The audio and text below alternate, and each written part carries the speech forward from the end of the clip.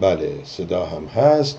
خب با سلام به یکایک شما بینندگان و شنوندگان عزیز در هر جای دنیا که هستید و از هر طریقی که این برنامه رو تماشا می‌کنید ممنونم از شما که چون هیچ کاری ندارید نشستید و می‌خواین ببینید که اینجا این چی میگه سربی و دنیا چه خبره. ولی امروز یه تسلیتی داشتم برای دوستان شاه اللهی و مجاهدین چون همون موقعی که به اصطلاح بعد از این شام و نهار و جلسه و نشستن و میتینگ و سامت و نمی‌دونم اینها آمد این شالاتان ترامپ و رئیس جمهور فرانسه که این بیچاره دو سه روز خیلی هم اذیت شد توسط رئیس جمهور برزیل راجع به زنش گو گو این زنش خیلی زشته و چون اونم مثل ترامپ اونم با همون حماقت ترامپ رئیس جمهور برزیل رو میگم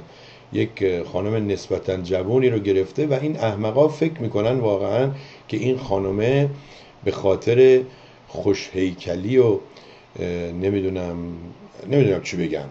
در صورت که اون خانمه می‌دونه به خاطر پول این مقام این این اینجا هست. اتفاقا جمعه شب آقای بیلمار که از هفته قبل یک کمی به خاطر اون حرف نادرستی که زد درباره اسرائیل و اینها در آب گرم بود به قول معروف آمد و یک صحبتی کرد گفت که ترامپ گفته که من گرینلند رو می‌خوام بخرم و مونا دنمارکیا یا رئیس پرایم مینستر صدر اعظم اونجا گفته این برای فروش نیست. گفت البته خب پدر مادر ملندان چیه این؟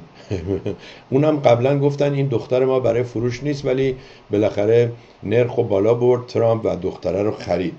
و اینم از این. البته دختر که چه ارز کنم این خانم اینجا اسکورت مسکورت بوده و خدا می‌دونه با چند نفر بوده تا بعد مثل خوراک مونده به دست ترامپ رسیده. ولی متاسفم واقعا برای شاه ها متاسفم برای دکتر حمزپور نادان متاسفم برای مریم رجوی متاسفم برای مسعود رجوی اگر زنده هست که اینها بعد از چهل سال هنوز نفهمیدن که شما نمی‌تونی به آمریکا اطمینان کنی و نمی‌تونی به آمریکا بگی منافع خودت, خودت رو بذار بعد از منافع ما. برو بزن. آخوندار رو نابود کن. قیمت نفت بره بالا و کلید ایران رو بده دست ما. اینجوری نیست. و ترامپ امروز بعد از دو سه بار که به دروغ گفت ما خبر نداشتیم که وزیر امور خارجه ایران محمد جواد ظریف در فرانسه در این نشست G 7 یا G 7 شرکت می‌کنه امروز گفت که می‌دونسته و خب دیگه دروغای این ما عادت کردیم و هر وقت میگه من نمی‌دونستم ما همیشه 60 درصد شانس رو میدیم به این که این داره دروغ میگه. یعنی انقدر دروغ میگه پس می‌گیره. دروغ میگه پس می‌گیره. اینجا بهش میگن flip flop. یعنی هی اینجوری اینجوری میشه هی اینجوری اینجوری میشه. درباره چین همین بارها گفت که این تعرفه ها چین پرداخت می‌کنه. اصلا به آمریکایی ها فشاری نمیاد. خودش آمد با پررویی خاص گفت حالا برای که کریسمس فشار میاد به آمریکایی ها اه تو که گفتی فشار نمیاد. ما اینو چند ماه دیگه به تعویق میندازیم و خلاصه روزگار غریبی است. ولی مهمترین خبر این نشسته هفت این بود که ترامپ نادان در اون جلسه ای که برای محیط زیست بود و گرمایش نمی‌دونم هوا و تغییر هوا و اینا شرکت نکرد گفت من یه جای دیگه میتینگ دارم. و یک حرفی هم زد که خیلی احمقانه بود. گفت که شاید با بمب اتم بتونیم جلو طوفان ها و اینها رو بگیریم. از طرفی براش جوک ساختن توی آمریکا که تو نمی‌خواد بری گرینلند رو بخری. اینجا ما خودمون یه جزیره ای داریم به نام پورتوریکو که برو به اون برس. کشوری داریم به نام آمریکا برو به اون برس. برو خیابونای لس آنجلس به بی خانمان ها برس و الا آخر. و کسی بیمار و مریض نیست از کشورهایی مثل هلند و فنلاند و سوئد و سوئیس و اینجا بیاد بره اینجا توی رستوران ظرفشویی کنه. خاک بر سر آخوندا خاک بر سر حکومت های دیکتاتوری که میگه از 151 نفر دانشجوی فلان رشته یکیش تو ایران مونده. 150 تاش در رفته. یعنی ما ما سرمایه فردا رو که جوونهای ایران هستن بعد از اینکه پدر و مادرهاشون مخصوصا توی این چهل سال با چه مصیبتی بچه ها رو بزرگ کردن مواظبت کردن به یک جای رسوندن همچین که یک مدرکی می‌گیرن سرشون به تنشون میارزه از لحاظ دانش و علوم و علم و سیاست و اقتصاد و اینها کشورهای دیگه اینها را آسون با خیلی حقوق خیلی کم برمیدارن و اینا حقوق تبدیل می‌کنن به اون پول ایرانی به پول دلار و ایران و تومن اینا. فکر می‌کنن خیلی دارن حقوق می‌گیرن. صحبت از دلار و اینها شد گویا قیمت دلار خیلی برای من جالبه که مثلا خبرنگارا همیشه این اشکال رو داشتن. اینا فکر می‌کنن ایران فقط تهرانه تهران هم فقط شمیرانه. و یکی از مصیبت هایی که گریبان شاه و رژیمش رو گرفت همین بود. با وجودی که می‌خواستن عدم تمرکز رو نمی‌دونم گسترش بدن و اینها و موفق نشدن همه فکر می‌کردن ایران تهران تهران شمران همین. اینم نوشته بود قیمت دلار در تهران پایین آمد. آقا قیمت دلار در ایران پایین آمد. ایران فقط تهران نیست. بماند. ترامپ با نادانیش. هم به آمریکا ضرر زده. برید بخونید تعداد کشاورزایی که خودکشی می‌کنن تعداد کشاورزایی که زمیناشون رو دارن از دست میدن. اینا هم یکی دو بار هی پول دادن که اینا دهنشون بسته بشه. ولی شما نمی‌تونی وقتی طرف رفته تولید کرده گندم و ذرت و نمی‌دونم اینها همینجوری حالا بمونه تو سیلو. و بعضی وقتا اصلا اینا سیلو ندارن که نگهداری کنن. گفته تولید که می‌کنیم میریزیم تو کشتی یا علی مدد میفرستیم چین چین چاینا و مونده رو دستشون. اینا رو یکم مطالعه کنید بیشتر در جریان باشید. ولی باز برگردیم به این که ترامپ گفت که بابا ما که بارها گفتیم که ما نمی‌خوایم رژیم عوض بشه نمی‌خوایم حکومت عوض بشه. اینا یکم روششون عوض کنن ما باشون میام صحبت می‌کنیم. فرانسه هم گفت ما از طرف آمریکا هیچ چیزی به ایران نگفتیم. ما با مشورت آمریکا و هر چند دقیقه در تماس بودیم بهشون گفتیم اینا هم قبول کردن ما به ظریف گفتیم بیان.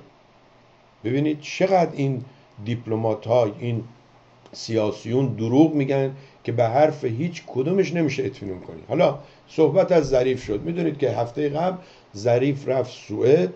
و اونجا یه مشتی مجاهد و دیگران رفتن تظاهرات که چرا ظریف اومده اونجا؟ بعد ببینید ویدیوهاشون رو و اتفاقا این امید دانا آمده یه ویدیویی در این باره درست کرده. مینو خانم هم مینا خانم هم برای ما فرستاده و من نگاه کردم. مینا خانم شما نگاه کن به این امید دانا. میگه به اینا اینا اجازه نداشتن در سوئد. اونایی که اجازه داشتن میان خودشونو میندازن جلو ماشین پلیس یعنی یک کار خلاف انجام میدن. تا این قسمت شد درست میگه منم باهاش موافقم. ولی آقای امید دانا یادت باشه خود شما هم یکی از اینایی بودی که بدون اجازه در ایران این کارا رو انجام می‌دادی. خود شما هم یکی از اونایی بودی که بدونی که بدی بعد می‌گفتی من کجا رأی من کجاست فلان بیسار و اینها. و حقیقتش رو بهتون میگم. ما ایرانی ها یه سری خارج رو دوست داریم چون می‌دونیم اینجا بیشتر می‌تونیم قانون رو زیر پا بذاریم. اگه گفتید چرا ما می‌تونیم در خارج قانون رو بیشتر زیر پا بذاریم؟ چون این بند خداها در کشور قانونمند بزرگ شدن بلد نیستن مثل ما. ما بلدیم چون در حکومت دیکتاتوری شاه و حکومت دیکتاتوری شیخ بزرگ شدیم بلد شدیم که چگونه قانون شکنی کنیم و در بریم. و این امید نادان میگه که آقا رضا پهلوی که شما همیشه وقتی می‌خوای از سلطنت تعریف کنی میای حکومت سوئد رو به رخ ما می‌کشی می‌کشی. امروز میای میگی من صدای شما را شنیدم و حالا دیگه کی تا حالا شما صدای مجاهدین و چپی ها رو میشنوی؟ بابا یه بار گفت مردم صدای شما رو شنیدم دیدی که چجوری رفت زیر آب. یادتونه؟ اون نواری رو که پر کرد و گفت صدای انقلاب شما رو شنیدم. حالا آقا رضا از مریلند نشسته من صدای شما رو شنیدم. پلیس سوئد بد کاری کرده. این احمق نرفته چهار تا ویدیوی دیگر رو نگاه کنه که پلیس وایساده آقا من با این جانوران چه کار کنم؟ خب اومدی تظاهرات وایسا تظاهرات. چرا خودتو میندازی جلو ماشین؟ جلو ماشین پلیس. پلیس می‌خواد بره برسه. بعد جالبه این دوستانی که می‌خوان از سطح دانششون بالاتر صحبت کنن و به قول من میگم تیتیش مامانی یا با قاشق چنگال میگه اینها پلیس ها می‌خواستن برن و خیابان های منحنی به میگم آقا درست ما منحنی داریم کلمه منحنی ولی خیابان های منتهی منتهی که یعنی انتهاش اون محلی بوده که گویا ظریف بوده. حالا بمانید فیلم های آوردن که ببینید ظریف هیچکس دیدم این آقای بابک هروی ظریف هیچ کس نیامده ملاقاتش. اینجوری و اونجوری و اینا. آقا کجای دنیا شما دیدی رئیس جمهور یا پرزیدنت یک کشوری بره ملاقات وزیر امور خارجه؟ وزیر امور خارجه میاد دو نفر کاردان و فلان میرن ورش میدارن میارن میبرنش اونجا بعد ملاقات هایی که قراره. ما هممون یا چی میگن؟ چی می‌کنیم؟ یا شور شورش می‌کنیم یا بینمک. در از صورت این ویدیو رو مینا خانم برای من فرستاد و مینا خانم من اینا رو نگاه می‌کنم. ولی قبول کنید وقتی شما اینو میفرست آقا سعید دوستمون میگه این نتفلکس رو نگاه کن. اون دوستمون میگه این یوتیوب رو نگاه کن. آقا خانم من 20 هزار نفر مانند شما این و اونور با من در تماسم یه دوستی به نام احسان که به انگلیسی مینیسه ایتان. برای من یه چیزی نوشته بود. خوش آمدید از سفر. امیدوارم خوش گذشته باشه و یه وکیل اینجور یه وکیل اونجور. رومم نمیشه به اینا بگم. آقا اگه هر کسی این اندازه چهار خط پنج خط برای من بنویسه روزانه که خب من دیوونه میشم. نکنیم این کارو. فقط چیزهایی که در رابطه با برنامه است چیزهایی که در رابطه با اینه. و بین این همه اینو نگاه کن اونو نگاه کن. من جایی نمی‌بینم. یکی بگه آقا ده دلار بهت میدم اینو نگاه کن. در صورت ممنونم مینا خانم. نگاه کردیم ما بارها گفتیم اگه خواستید حتی ویدیوهای همین امید نادان رو می‌تونید از تلویزیون مردم به اصطلاح پخش کنید و پروموت کنید. یعنی تبلیغ کنید اون چیزی رو که باور دارید اون چیزی رو قبول دارید. ولی درباره باور داشتن و قبول داشتن اینها اجازه بدید که دو نفر سه چهار نفر پیغام گذاشتن. یکیش یه معتادیه که اینجا بود سالهای سال و من از روی ترحم با این سلام علیک می‌کردم و خیلی از دوستانم گفتن آقا تو که اینو می‌شناسی این چه موجود کثیفیه اینجوریه و اینها. و گفتم حالا شاید عوض شده باشه. و بعد دیدیم نه که اصلا نه ارزش پخش کردن داره نه ارزش گفتن اسمش. ولی جالبه یه احمقی از لس آنجلس از ایریا کد 818 با فکس تماس گرفته یه پیامی گذاشته که از ترس خیلی جالبه. اینا وقتی هم من نیستم انقدر میترسن که صداشون در گلو خفه میشه. من که نفهمیدم چی میگه. ولی همین در لابلای صحبتاش میگه تو که تحمل شنیدن صدای این زن رو که مخا... احمق این زن کجا مخالف من بود؟ این زن دیوانه مجاهدی که پیام گذاشته بود خانم اعظم. این یه برنامه از آقای شادانلو دیده بود و این چون مجاهده مغزش خشک شده آمده بود تهمت می‌زد. من که بارها در برنامه گفتم هر کی مخالفه زنگ بزنه تماس بگیره بیاد در برنامه صحبت کنه. تا امروز هم کمتر پیدا میشه کسی که شهامتش رو داشته باشه. ولی برای که نشون بدیم ما دوستانی که لطف می‌کنن برنامه ها رو می‌بینن پیام می‌ذارن. پیام آقای خسرو بهرامی رو براتون می‌ذارم تا با هم گوش کنیم و بهتون بارها گفتم اول برنامه های ما هم میاد یه نوشته ای که تلویزیون مردم و مدیر تلویزیون مردم که ما هستیم فعلا مسئولیت چیزهایی رو که دوستان میگن اینها نداریم. هر کسی مسئول گفته های خودشه و این مثلا آقای خسرو بهرامی مسئول گفته های خودشه. دو تا پیام گذاشته. بذارید ببینم که اگر پیداش کنم براتون پخش کنم. نمی‌دونم با Google Voice بود یا با ماجیک جک. جالبه که ما بارها گفتیم. آهان اون احمقی که زنگ زده و از فکس استفاده می‌کنه از فکس ماشین. شماره تلفنش هست شماره فکسش هست. 818 264 14 62 من زنگ زدم که از این نابکار نابخرد بخوام بیاد تو برنامه صحبت کنه ولی فکس ماشین بود و فکس ماشین مال قرن بیستمه. همین نشون میده اینا چقدر عقبن و بمانه. بیایم ببینیم که پیام آقای خسرو بهرامی رو کجا گذاشتم و اینقدر نوشته و ویدیو و اینها دارم که دیگه نمی‌دونم. این آقای پاشایی یه دفعه گفت که این آقای پهلوی خیلی آدم خوبیه ولی نمی‌دونه کی رو کجا بذاره.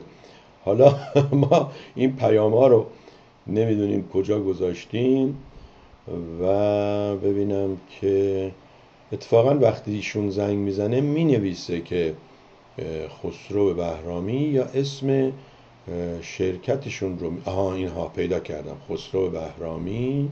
بله گوش کنیم با هم. ببینم چند دقیقه است. فکر کنم سه دقیقه اولش تموم میشه که باز دوباره زنگ زدن. آقای بهرامی اگر اینا رو یادداشت کنی وقت کم نمیاری عزیزم. بفرمایید.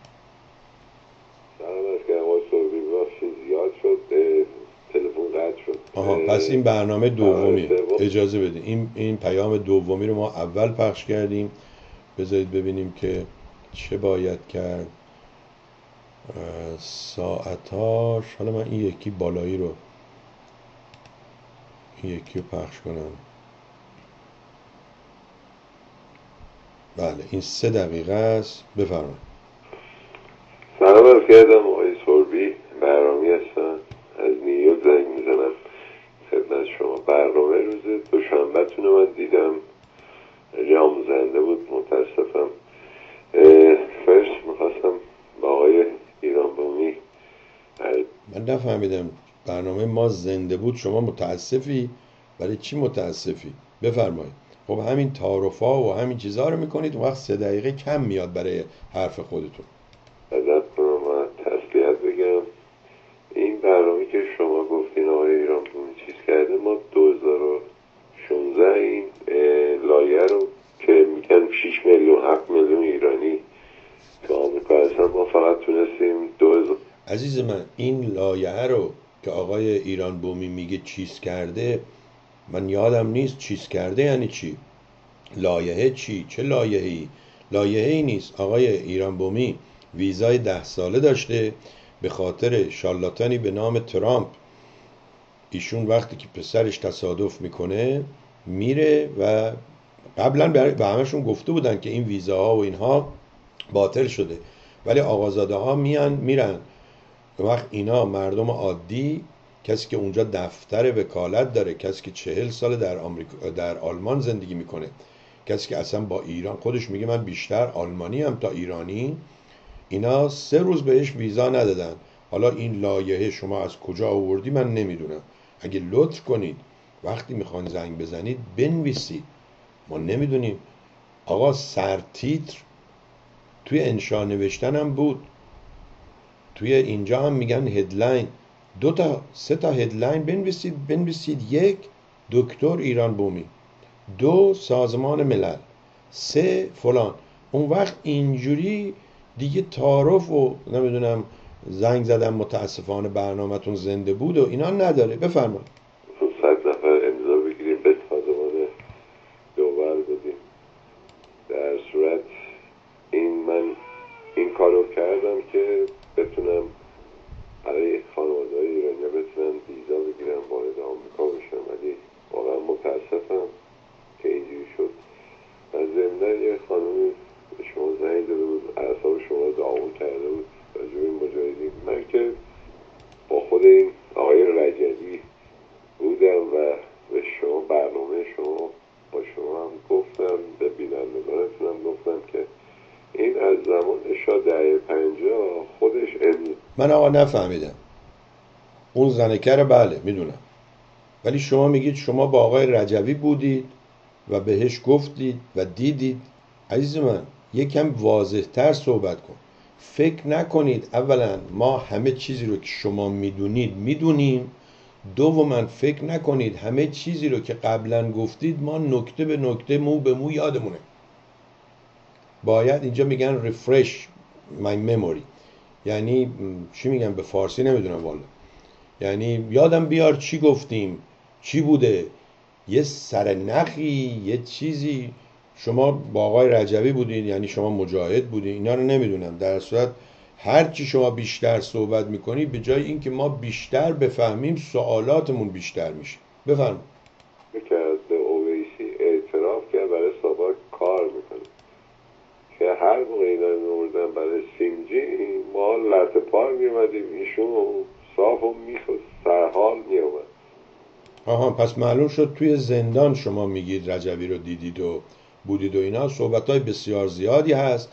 از اینکه رجبی دیگران رو لو داده و چون برادرش هم اینجا تلاشایی کرده بود از طریق سازمان ملل و اینها گویا به این خاطر هست که ایشون توی اون جمع تنها کسی هست که زنده آمده بیرون. بفرمایید من آخرین بارم که اومدم برنامه تیوی شما گفت این مردم گوششون کجاست این زمانی که حمله کردن به سفارت آمریکا سعادتی خیابانی اینا رو ایشون لو داد که اینا رو به جوغه اعدام کشیدن که سعادتی و زلفقاری رو اعدام کردن خیابانی فرار کرد ایشون جاشو لو داد با خود همین پاسدارا با خود این خمینی ها که اینو بکشن ایشون بشه رئیس اون سازون و ضمن اون, اون میگه اون خانم باید خیلی نادام باشه که اینجوری حرف می‌زنه اینا وطن فروشن اون موقع سازمان رو اسمش عوض کردن آزادی بخش کردن مجاهدی دیگه باید بیشتر برن تحقیق کنن برنامه ببینن تا بدون دو تا خبر سه خبر مهمی بود تو سازمان شنبه من سازمان دوبل رفتم دو تا خبر خیلی مهمی بود که دوستان آقای خسرو بهرامی سالها با سازمان ملل کار کرده. ولی ایشون میگه سازمان دوله این سازمان ملل نیست. ملت دنیا امیدی به این سازمان نداشته باشید. این سازمان دوله به خاطر همینه که اولا در آمریکا بعدم حافظ منافع دولت هاست. بفرمایید. به نظر می‌رسه ایشون هنوز هم گهگاهی میرن و اونجا به دوستانشون سر می‌زنن. با شما کاملا هم عقیده هستم درباره اون زنه که نادان بوده. سابقه رجبی رو اگر می‌دونست خب عضو البته عضوم نیست اینا مفتخورن. هوادار مجاهدین یعنی مفتخورایی که وایستادن چی میگن دری به تخته بخوره چی می‌گفتن؟ و اینها فکر کنن که کوهی بریزه و یه گودی پر بشه. بفرمایید. یا اینها کلاهی از این نمد برای خودشون بسازن. ضمنا درباره آزادی بخش هم دوستان گفتن اینها آزادی پشم هستن. همون معتاده زنگ زده که آقا خیلی ممنون که راجع به این چیزا صحبت کردی. یکی نیست بگه آخه مرد احمق. تا الان چند ساله می‌خوای برنامه بذاری چون معتادی فرق روز با شب رو نمی‌فهمی. صد دلار نداشتی نه خودت نه خواهرات نه برادرات. صد دلار نتونستین جمع کنین یه دوربین بخری یه کامپیوتر دست دوم بخری. آخه برید خجالت بکشید از خودتون. بفرمایید این آقای زهیر داره زده بند می‌کنه ایشون بدون اطلاع رفته سوئد و نروژ و اینا کشور اسکاندیناوی اون کشتی انگلیسی قرار آزاد بشه هفته دیگه صد درصد و خبر دیگه هم که ایشون رفت فرانسه جمعه زیر میزی می‌خوان معامله کنن. آقا اصلا زیر میزی نیست عزیز من. اگه یکم صبر کنید شما امروز هم مکرون هم ترامپ هر دو گفتن ما الان مدت هاست ماه هاست داریم تلفن می‌زنیم که در این نشست جی 7 ظریف یا یه نماینده از ایران هم بیاد. تازه خبر دیگه هم که گفتن گفتن شما ایرانیا و ملت ایران ول معطلید. ما می‌خوایم بریم با رئیس جمهور ایران هم صحبت کنیم. این یکی. حالا خبرهای دیگه که داری دیگه وقت زیادتر میشه. ما نمی‌تونیم به هر بیننده ای سه دقیقه وقت بدیم تازه باز زنگ بزنه به کم آوردیم اینا. اگر لطف کنید پیاماتون رو خلاصه کنید ما هم قول میدیم پیاما رو پخش کنیم. و اما سقوط دلار در, در تهران پس از نشست G7 و دو جوان افغانی در مونیخ. یه چیزی براتون بگم. من وقتی که رفتم از اینجا برم به ترکیه یک شب در مونیخ اینجا بهش میگن لی اوور یعنی باید میموندم. وقتی موندم گفتم خب دفعه قبل که من چهار سال پیش مونیخ بودم و اینها نرفتم مرکز شهر و بیشتر همون جایی بودم که اون برنامه اکتبر فست هست و اینها و بریم مونیخ هم یکی از شهرهای قدیمی اونجا هست و اینها بریم ببینیم. وقتی رفتیم مرکز شهر این تلفن ما و این سیم کارتی که داده بودن دیگه می‌دونی آدم وقتی خیلی متکی میشه به این دستگاه های جدید و پیشرفته گاهی وقتا دیگه خودش مغزش استفاده نمی‌کنه. وقتی داشتیم دنبال اون رستورانه میگشتیم که بریم دیدیم تو این جمعیت دو تا جوون هستن و آدرس از اینا پرسیدیم بذارید من ببینم عکساشون به شما نشون بدم. و بله آدرس که پرسیدم این دوتا گفتن که شما ایرانی هستید. گفتیم بله خیلی با محبت با ما سلام علیک کردند و آدرس دادند و اینها. بعدم به اصطلاح گفتیم که ما یه تلویزیون نقلی هم در آمریکا داریم و آدرس هم گرفتند و فردا پس فرداش جولای ترد که ما هنوز در مسافرت بودیم اینها این عکس رو فرستادن.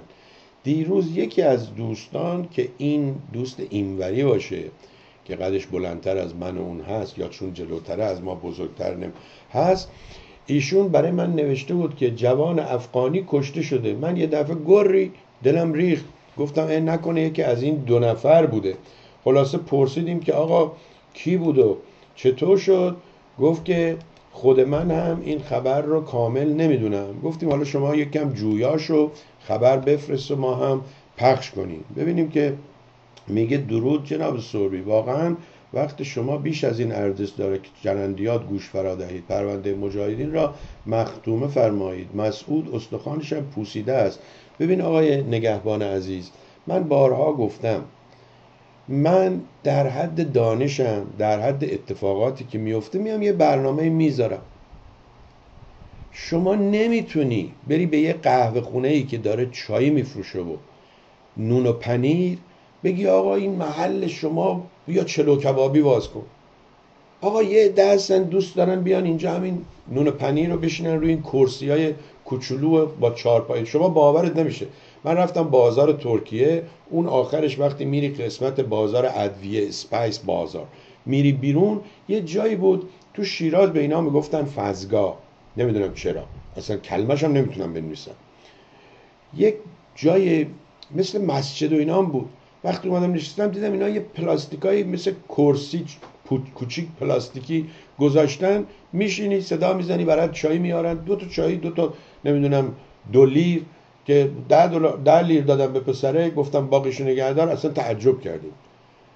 آقا من اون به دلم میچسبه. من و شما تا کی می‌خوایم به دیگران هی بگیم چه برنامه بذار چه برنامه نذار. بیا یه کاری انجام بدیم آقای نگهبان. شما امروز تا جمعه چون من چهارشنبه نیستم برنامه ندارم. امروز تا جمعه یک کاغذ وردار. همینجوری که ما نوشتیم یک دو سه چهار فلان شما یه سری موضوعاتی رو بنویس من بخونم برای مردم. یعنی شما به عنوان تهیه کننده قسمتی از این برنامه عمل کن. دیدید تلویزیون های درست حسابی؟ یکی میاد اخبار سیاسی رو میگه یکی میاد اخبار اقتصادی رو میگه یکی میاد اخبار تکنولوژی رو میگه. آخه ما چه ملتی هستیم؟ اون احمق زنیکه مجاهد زنگ می‌زنه میگه چرا شادانلو بهش اجازه دادید بیاد حرف بزنه؟ اون نادان احمقتر از اون از کالیفرنیا از ترسش از فکس ماشین استفاده می‌کنه زنگ می‌زنه میگه این چون مخالف بوده. شما که ما برات احترام قائلیم. فکر می‌کنیم سرت به تنت میارزه اطلاعاتی داری می‌خونی فلان اینجوری مینیسی واقعا کجا می‌خوایم بریم ما؟ کجا می‌خوایم بریم؟ نمی‌دونم. خب ترامپ برای هر کسی بد است فعلا برای ایران خوب است. آقا قربون دهن آقای داوود کاهن یا کوهن شما کلیمی هستی؟ اگه کلیمی هم هستی یه ماچ گنده از طرف من به خودت توی آینه بکن. و ما هم که داریم همینو میگیم. تا به حال هیچ رئیس جمهوری مانند آقا این حرف اشتباه عزیز من. این دروغتون میگه. تا به حال هیچ رئیس جمهوری از مردم ایران دفاع نکرده. چه دفاعی این شالاتان کرده؟ همین الان که شما اینو نوشتی آقای آخوند کشتی نمی‌دونم فلان رو گرفت اسمش عوض کرد کشتی و نمی‌دونم محصولاتشو رو آب فروخت. حالا هر کی بهش میگه کجا میری؟ میگه به ما چه مال ما نیست که. برو از صاحبش سوال کن. یعنی شما میگی من می‌دونم توی اتاقی نشستم اینجا. 20 کیلومتر این ورتر. آقای ترامپ اینو نمی‌دونه.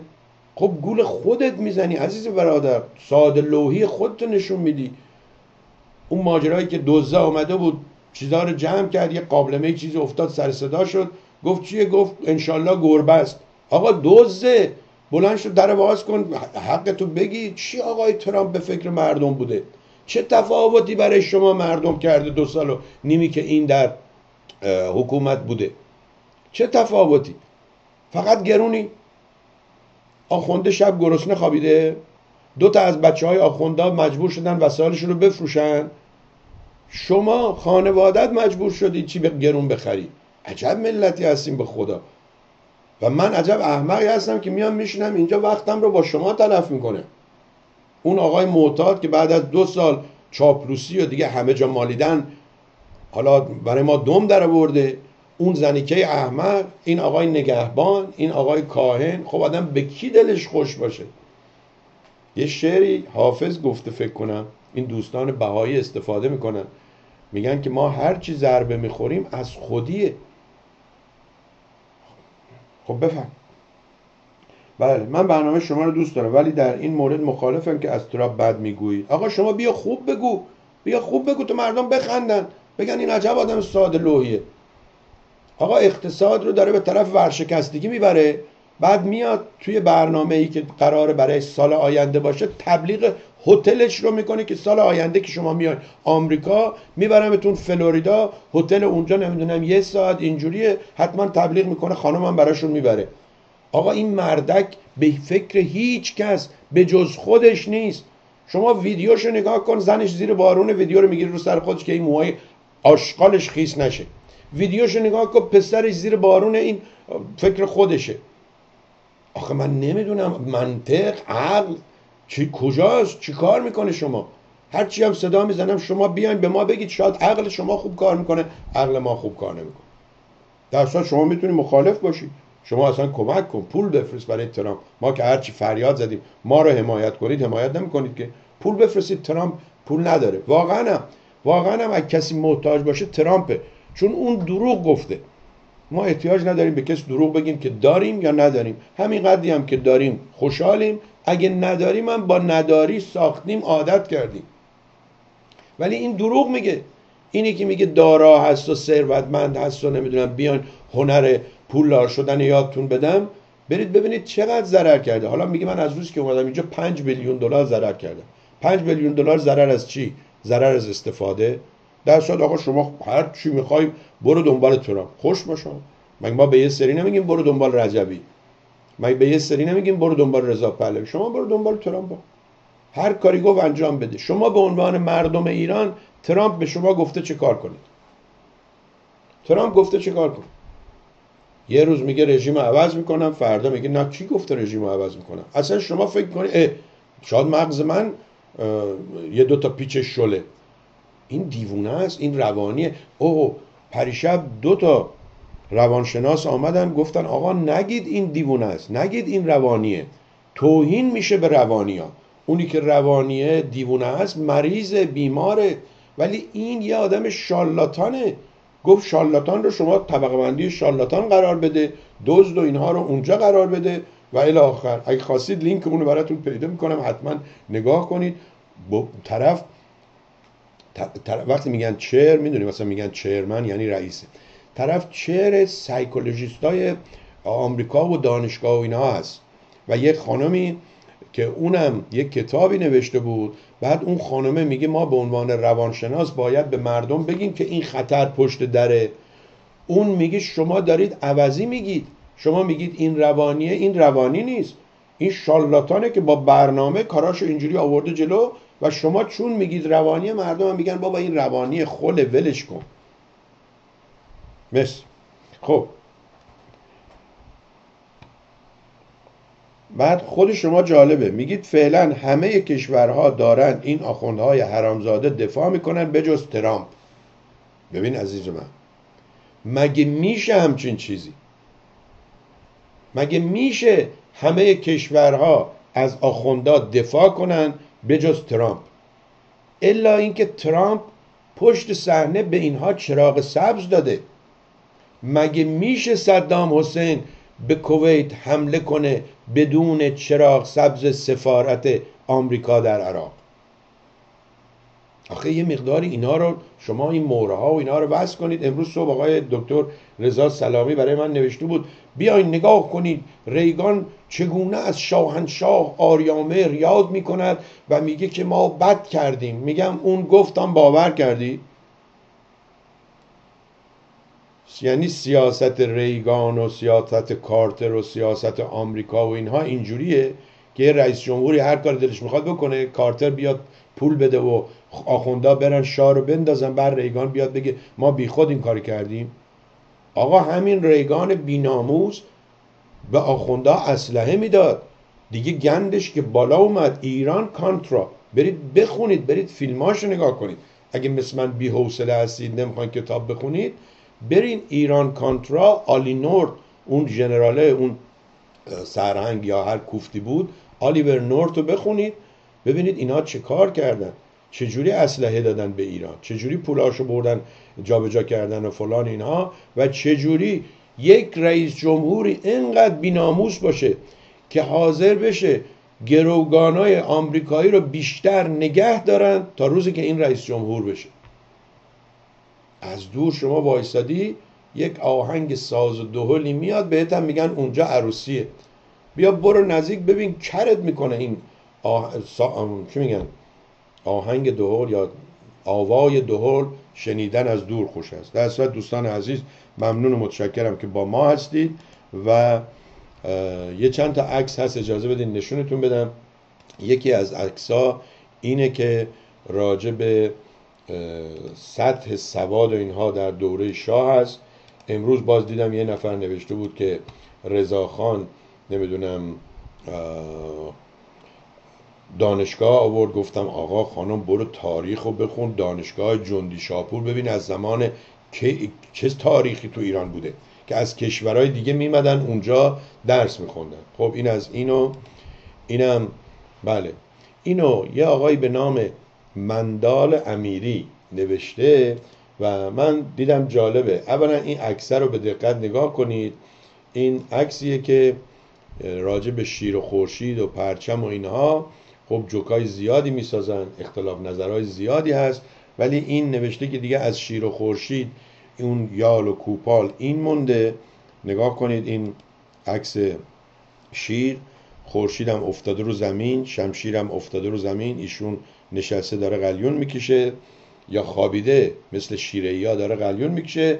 ولی اون چیزی که من و شما شاهدش هستیم هر روز در اینترنت دروغ ها یکی پس از دیگری اینه.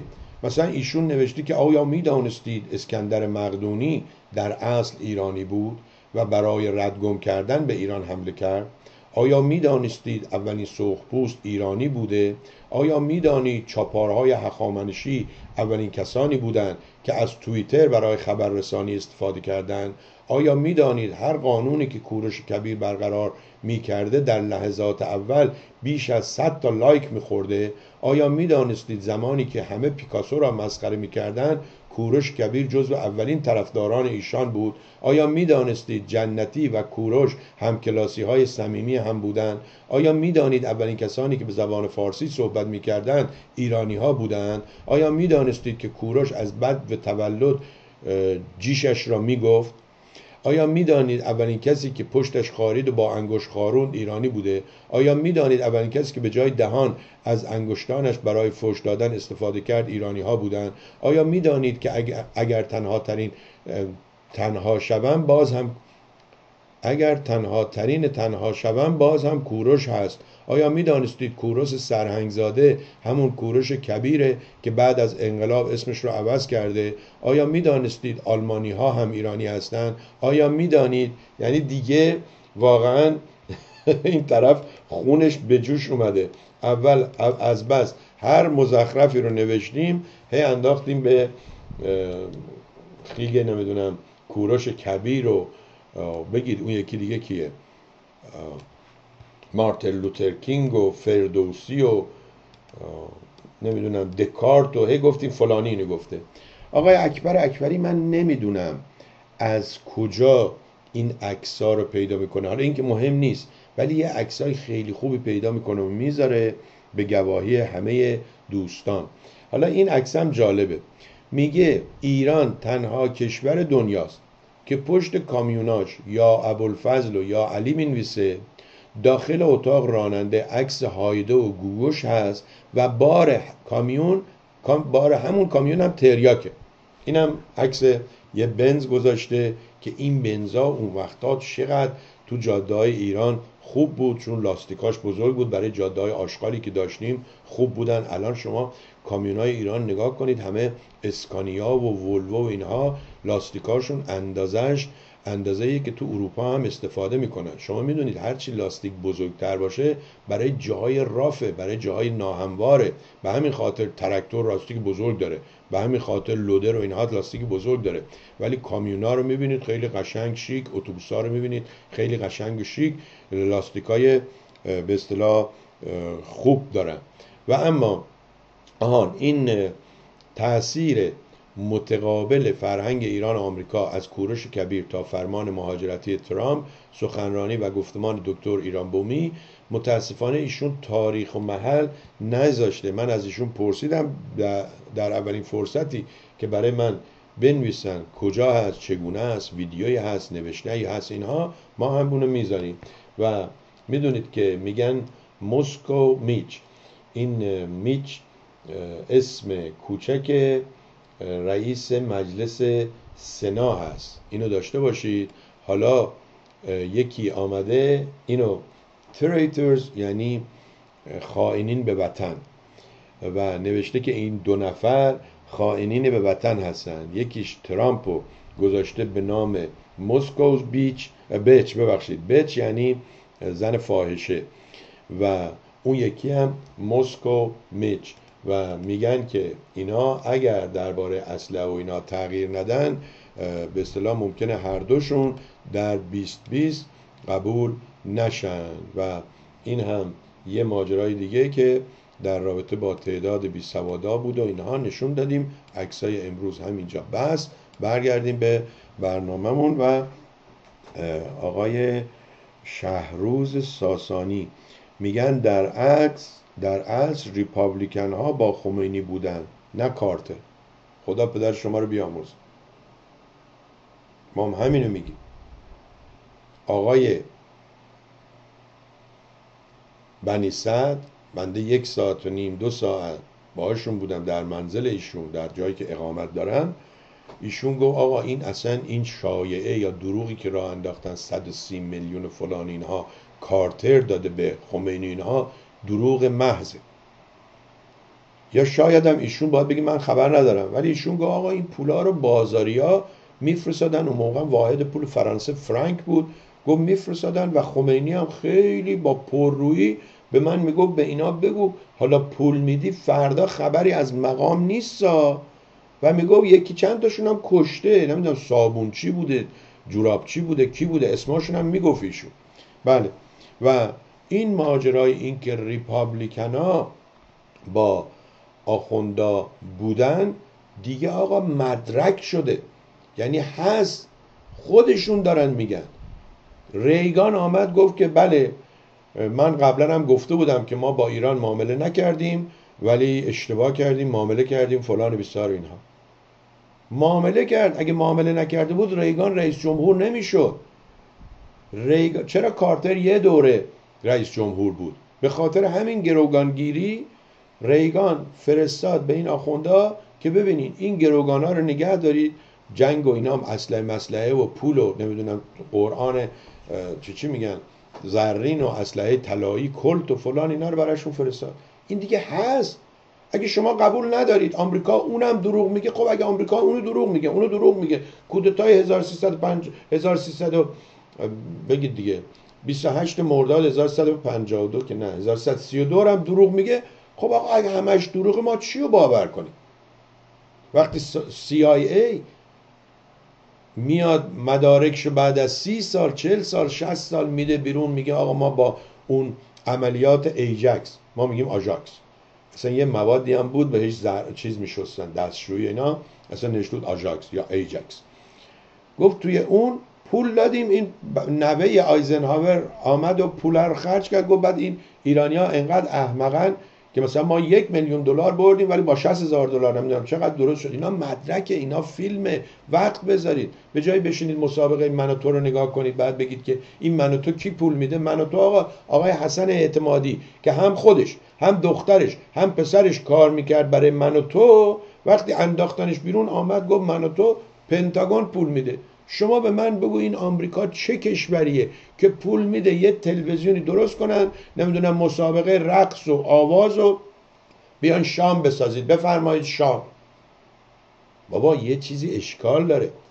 این آمریکا الان اینجوری به دست پا افتاده داره غرق میشه. خودشون این گود رو کندن خبر نداشتن وقتی بارون بیاد این گود پر آب میشه. دیدید میگن چاهکن همیشه ته چاهه؟ آمریکا شده چاهکنی که چاهکن برای این و اون حالا خودش مونده ته چاه. امروز چین هند. تنها کسی که اومد اونجا نشست باهاش صحبت کرد اون مال هندوستان بود. اصلا اینا مسخرش می‌کنن وقتی میره این ور این برای خودش میچرخه این ور. اینجا که بود گفت شراب فرانسوی نخورید. البته من شراب نمی‌خورم. شراب آمریکایی بخورید. زن احمقش اونجا شراب فرانسوی خورده. سوال می‌کنن آقا تو که زنت شراب فرانسوی می‌خوره. یعنی این درست عین آخوندا واعظان که این جمله بر در محراب و بر منبر می‌کنن چون به خلوت میرون آن کار دیگر می‌کنن به مردم میگه شراب فرانسوی نخورید. خودش میره اونجا شراب خودش که نمی‌خوره. میگه نمی‌خوره. شراب فرانسوی می‌خوره. حالا اینم بعد معلوم بشه که اصلا این اصلا دائم الخمره. OK. اگر کارتر از خمینی حمایت کرده بود خمینی به خاطر کارتر گروگان ها را زود آزاد می‌کرد. اونم دیگه را لابد اینا با پولی می‌دادن کاری می‌کردن و اینها. و کارتر هم به فکر اون حمله ای بود که به طبس دیدی دیگه فرستادن و ناموفق بود اینها. خب یک نوشته هست راجع به مادر ستار اون بند خدایی که دلم درد آمد. هر کس دستش رسید تنها با استفاده از زور می‌خواهد امور را بگذراند. از مغز کسی استفاده نمی کند یه بند خدای کارگری به نام ستار که الان دیگه فامیلش هم یادمون رفته بنده خدا. این می‌دونید آدما هیجان زده میشن. من یادم خود ما وقتی وبسایت رو باز کردیم وبسایت نوشت آقا شما نفر هفت میلیونیوم هستی. یعنی 6 میلیون و 999 هزار و 999 نفر جلو شما هستن. ما یه دفعه فکر کردیم ما 7 میلیون بیننده داریم. خب سواد کمه دیگه. این آقای ستارم که یه کارگری بوده می‌رفته سر کار بنده خدا میومده حالا که دسترسی پیدا کرد به اینترنت و اینها آمد و شد بلاگر. بلاگر یعنی میای روی اینترنت می‌نویسی چیزایی که تو مغزته چیزایی که تو فکرته چه در آمریکا چه در کشورهای دیگه چه در ایران. دولت ها می‌فهمند شما کجا هستی چی فکر می‌کنی کی بیان بگیرنت. این بند خدا رو آخوندا آخوندهای دیکتاتور آخوندهای جانی گرفتن شکنجه کردن و اینها و در زندان کشته شد. مادرشم شما نگاه کنید این جسه این مادر مادر داغدار. حالا آها ستار بهشتی که امیدواریم اگه بهشتی باشه ایشون رفته باشه در بهشت. نامه گوهر عشقی خیلی ممنون خانم جیلانی هم نوشتن بله بهشتی. نامه گوهر عشقی به پرزیدنت ترامپ. اول شهریور روز تولد ستار را روز دوستی میان مردم ایران با آمریکا اسم گذاری کنید آفرین. گوهر عشقی مادر ستار بهشتی که زیر شکنجه در زندان کشته شد در نامه ای به پرزیدنت ترامپ از وی درخواست کرد که روز اول شهریور را که روز تولد ستار است به نام روز دوستی میان مردم ایران با مردم آمریکا اسم گذاری کنید نامه سرکار خانم گوهر عشقی توسط انجمن جهانی پاسداشت پاسداشت حقوق بشر به وزارت خارجه آمریکا ارسال شده است. متن نامه گوهر عشقی به رئیس جمهور آمریکا به شرح زیر است. سلام می‌گویم به شما آقای دونالد ترامپ.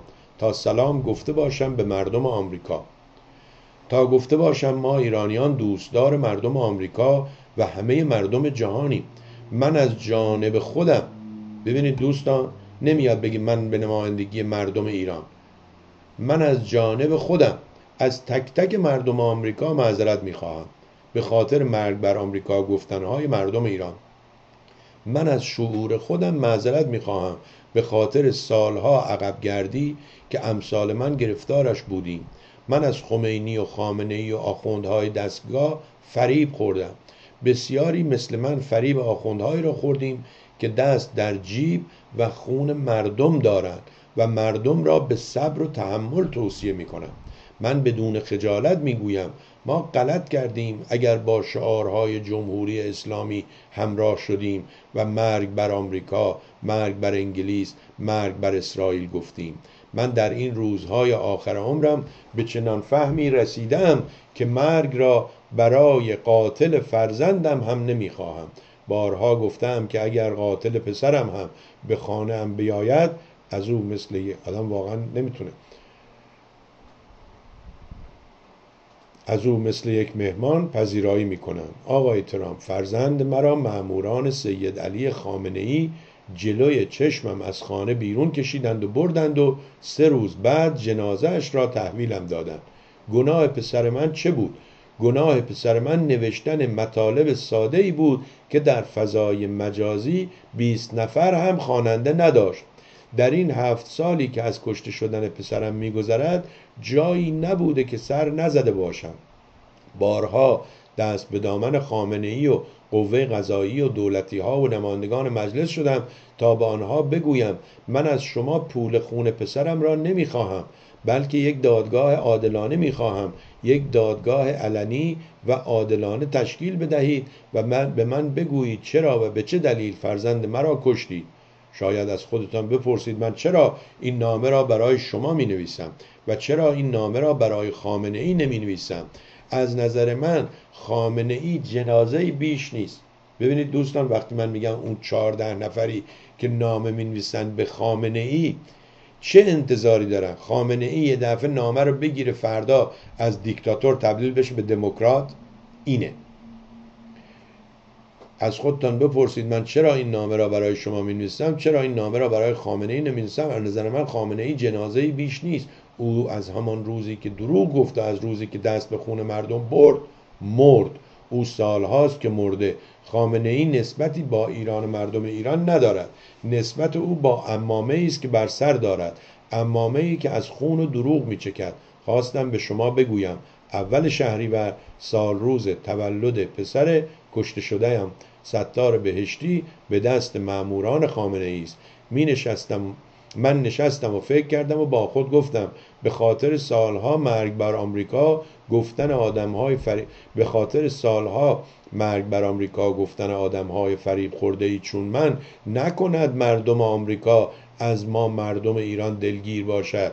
با فرستادن این نامه خواستم به شما بگویم ما مردم ایران خودمان اسیر خامنه ای و ماموران او هستیم و روز شماری می‌کنیم برای روزی که از جمهوری اسلامی خبری نباشد. بله ما با مردم آمریکا دوست هستیم. این نامه را مادری برای شما می که تنها ناناور خانهاش توسط ماموران خامنه ای کشته شده. این مادر که هفت سال است لباس سیاه ازای پسرش را بر تن دارد دست دوستی به سمت شما دراز می کند تا شما سلامش را به مردم آمریکا برسانید و به آنان بگویید گوهر عشقی همه مردم جهان را دوست خود می‌داند و مرگ را تنها و تنها برای جمهوری اسلامی می‌خواهد.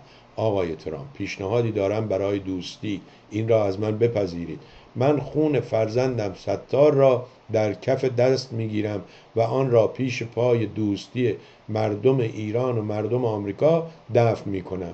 از شما خواهش می‌کنم روز اول شهریور را که روز تولد پسرم ستاره است روز دوستی میان مردم ایران. با مردم آمریکا اسم کنید. دوست دارم با این دلخوشی از دنیا بروم. چه اسم خوبی. روز اول شهریور روز تولد ستار بهشتی روز دوستی میان مردم ایران و آمریکا. با احترام گوهر عشقی مادر ستار بهشتی ایران شهرستان ربات کریم. اینم از این. خب حالا امیدواریم که این نامه گویا به دست اون آقا رسید که این ور میاد و چیز می‌کنه و میگن جوابم داده. حالا ببینیم که ترامپ چی کار می‌کنه. به این ترامپ من امیدی ندارم نداشته ندارم و نخواهم داشت. اینم از این. بله.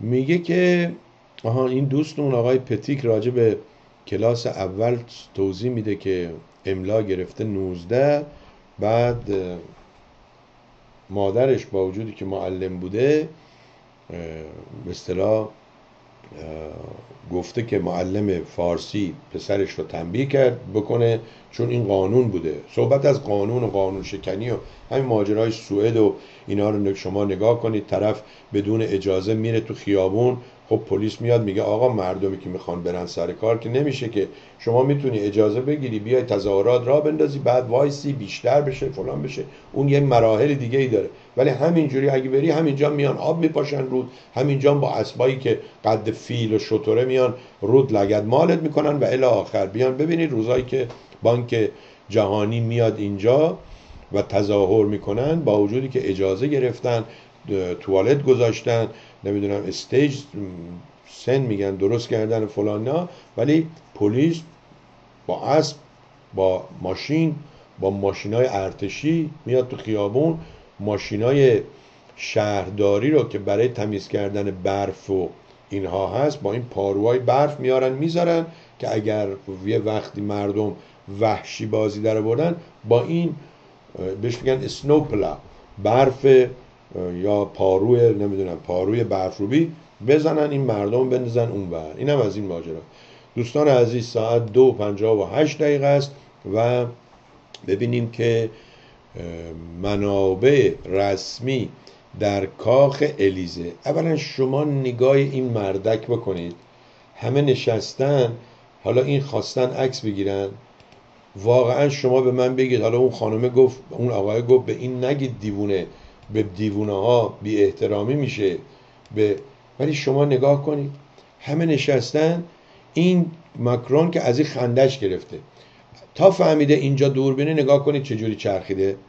سران گروه هفت ماکرون را معمور ارسال پیام جمعی, جمعی آنها به ایران کردند. این مال دو سه روز قبله. امروز بعد یعنی ساعت دوازده ظهر ما ساعت پنج, پنج شیش پاریس در بهش میگن این خبرنگارا وقتی میان اونجا رئیس جمهور فرانسه اول وایستاد صحبت کرد بعدم این شالاتان و اونجا رئیس جمهور فرانسه دیگه به اصطلاح این رو مرموم کرد که ترامپ می‌دونسته. ما از قبل به آمریکا خبر داده بودیم که می‌خوایم به اصطلاح میانجیگری کنیم و ترامپ حقیقتا توش مونده. و اینم این نیروی دریایی ایران آماده اسکورت ابرنفتکش آدریان دریای یک است که امروز ایران گفت اصلا ما فروختیم این مال ما نیست. گفت کشتیش مال فلانجاست خدمش مال فلانجاست بیمش مال فلانجاست نفتش مال ما بوده فروختیم. حالا برید به اون که خریدیم پیدا کنید اونو بگیرید. یعنی این آخونده انقدر بلدن و دوست ما میگه تنها کسی که با ملت ایرانه ترامپه آخه کجا با ملت ایرانه؟ ای کاش میمد میگه آقا من روزی دو تا هواپیما برنج میفرستم برای مردم ایران. اون وقت با ملت ایران بود. نه اینکه من گلوی ملت ایران می‌گیرم. خب شما وقتی یه کسی رو گرسنه نگه میداری این گرسنه ها می‌تونن برن مردم می‌تونن برن آخوندار رو مثل گفتم میتون آقای رضا سلامی میگم آقا این شما چی داری میگی؟ کجای کاری؟ میگی من می‌خوام مردم استرانگ بشن. استرانگ یعنی قوی. اول میگه اسمارت باهوش بشن. میگم آقا هر کسی که باهوش با سواده که دنیا تاریخ نشون داده از بین میبرنش. از اون مال کی بود؟ کره زمین رو فهمید گرده تا اون جاندارک خانمه تا هر کسی. هر کسی که سرش به تنش میارزه دیکتاتورها از بین میبرنش. این از طریق اسمارت شدن باهوش شدن. بعد میگه استرانگ بشن. میگم آقا مردم چجوری می‌تونن قوی بشن؟ یه آدم پوست هست گوشت هست استخونه. این چجوری می‌تونه جلو توپ و تانک و نیروهای ضد شورش دوام بیاره؟ خب بیان بگید دیگه. شما که مشالله خودتم مثل من توپولی بیا برو جلو مردم. به مردم بگو نگران نباشید. من میرم جلو اگه ماشین زد من میفتم شما فرار کنید. نه اینکه وایس آمریکا به مردم بگو برو جلو توپ و تانک و فلان اینا. خب. بیام خبرهای جدیدتر بخونیم. اینو از جمعه تا چون من گذاشتم نوشتم همینجوری مونده اینجا. یه کمی خبرها جدید و قدیمش باید برم پایین تر امروز 26 آگست 23 و اینها رو براتون بخونم که می نویسد می نویسد پرس گفته به این که الزاما مقصد نهایی قطعی کشتی نیست. در هر زمانی ممکن است نس... چی عوض بشه. این هم باز اویر نیوز گفته. بیا ببینید چقدر جالبه دوستان. این نقش نوشته رو بهتون نشون بدم. ببینید اصلا سیاستمدارا اونایی که دنیا رو سالها چرخوندن موندن توش که با این جانور دوپایی به نام آخوند چگونه رفتار کنن. نفتکش ادریان دریای یک به سمت ترکیه تغییر مسیر داد. حالا این اسوشت پرس ببینیم چی نوشته. بله اینجاست. من بزرگترش کردم. حالا براتون نشون بدم. چهار به سه. این همون کشتی رو نوشته اینجا اینجا. بله میگه خبرگزاری اسوشیت پرس با استناد به آخرین اطلاعات به دست آمده از سامانه های رهگیری دریایی گزارش داد. ابر نفتکش ادریان دریای یک با پرچم ایران که حرکت آن به دقت از سوی کارشناسان آمریکایی رسد می شود به طرف بندر این بندر مرسین مرسین در جنوب ترکیه تغییر مسیر داده است. بررسی اطلاعات سامانه خودکار رهگیری آی EIS نشان می‌دهد که ملوانان حاضر در آدریان دریا از نخستین ساعات بامداد شنبه دوم شهریور حرکت خود به جنوب به طرف جنوب ترکیه را آغاز کردند. پرس با این حال می نویسد که مرسین الزاما مقصد نهایی قطعی کشتی نیست و ملوانان در هر زمانی ممکن است مسیر کشتی را از ترکیه به مقصد دیگری در EIS تغییر دهند. بر اساس آنچه در وبسایت رهگیری دریایی marintraffic.com مشاهده می شود شناور عظیم ایرانی در حال حاضر در نقطه در جنوب جزیره سیسیل ایتالیا در دریای مدیترانه با میانگین سرعت 7 و 8 دهم گره دریایی در ساعت در حرکت است. بله. میگه که خوشنودی آقای کاهن گوش کن. فعلا ترامپ جلو فرار مغزهای ایران به آمریکا را بسته تا بقیه کشورها بهره ببرن حالا ای کاش گفته بودی کلا بسته که تا این مغزها در ایران یک کاری بکنن که اون حرفی که آقای سلامی همشهری من و شما می‌زنه چیز کنه. برای سلامی نوشتم که می‌دونید که چون اینا عموشون اون دیوون خونه سلامی یا mental clinic یا mental hospital سلامی رو داشتن و گفتم که به زودی این ترامپ و خانوادهش به بیمارستان سلامی شیراز منتقل میشن. خب میگه که تنش با ایران و آتش سوزی آمازون سایه بحرانهای مهم جهان بر نشست گروه هفت. و رهبران احزاب مخالف دولت هند به رغم هشدارها به سوی کشمیر پرواز کردند. گفتگوی اختصاصی یورونیوز با محمد جواد ظریف. اونا و خواستید خودتون برید گوش بدید من کاری ندارم. و این خیلی جالبه. روز جمعه موقعی که ما برنامه داشتیم این ترامپ نادان همه آمریکا اصلا موجودیتش بر اساس فری انترپرایز هست. و اگر برنامه من رو دنبال کرده باشید و مثل اون خانم نادان طرف هوادار مجاهد یه بار نیومدید تماشا کنید و دهن کسیفش رو باز کنه همیشه گفتم احتیاج نبود شاه به مردم بگه آقا این شامپوی دارما دو تومن همه جا همه جا دو تومن. فری انترپرایز باور کنید اینجوری ها خمیر دندون رو یه جایی میده یه دلار همون رو یه جایی میده پنج دلار. شما هستی تصمیم می‌گیری؟ میگی من اینجا دوست ندارم تو صف وایسم.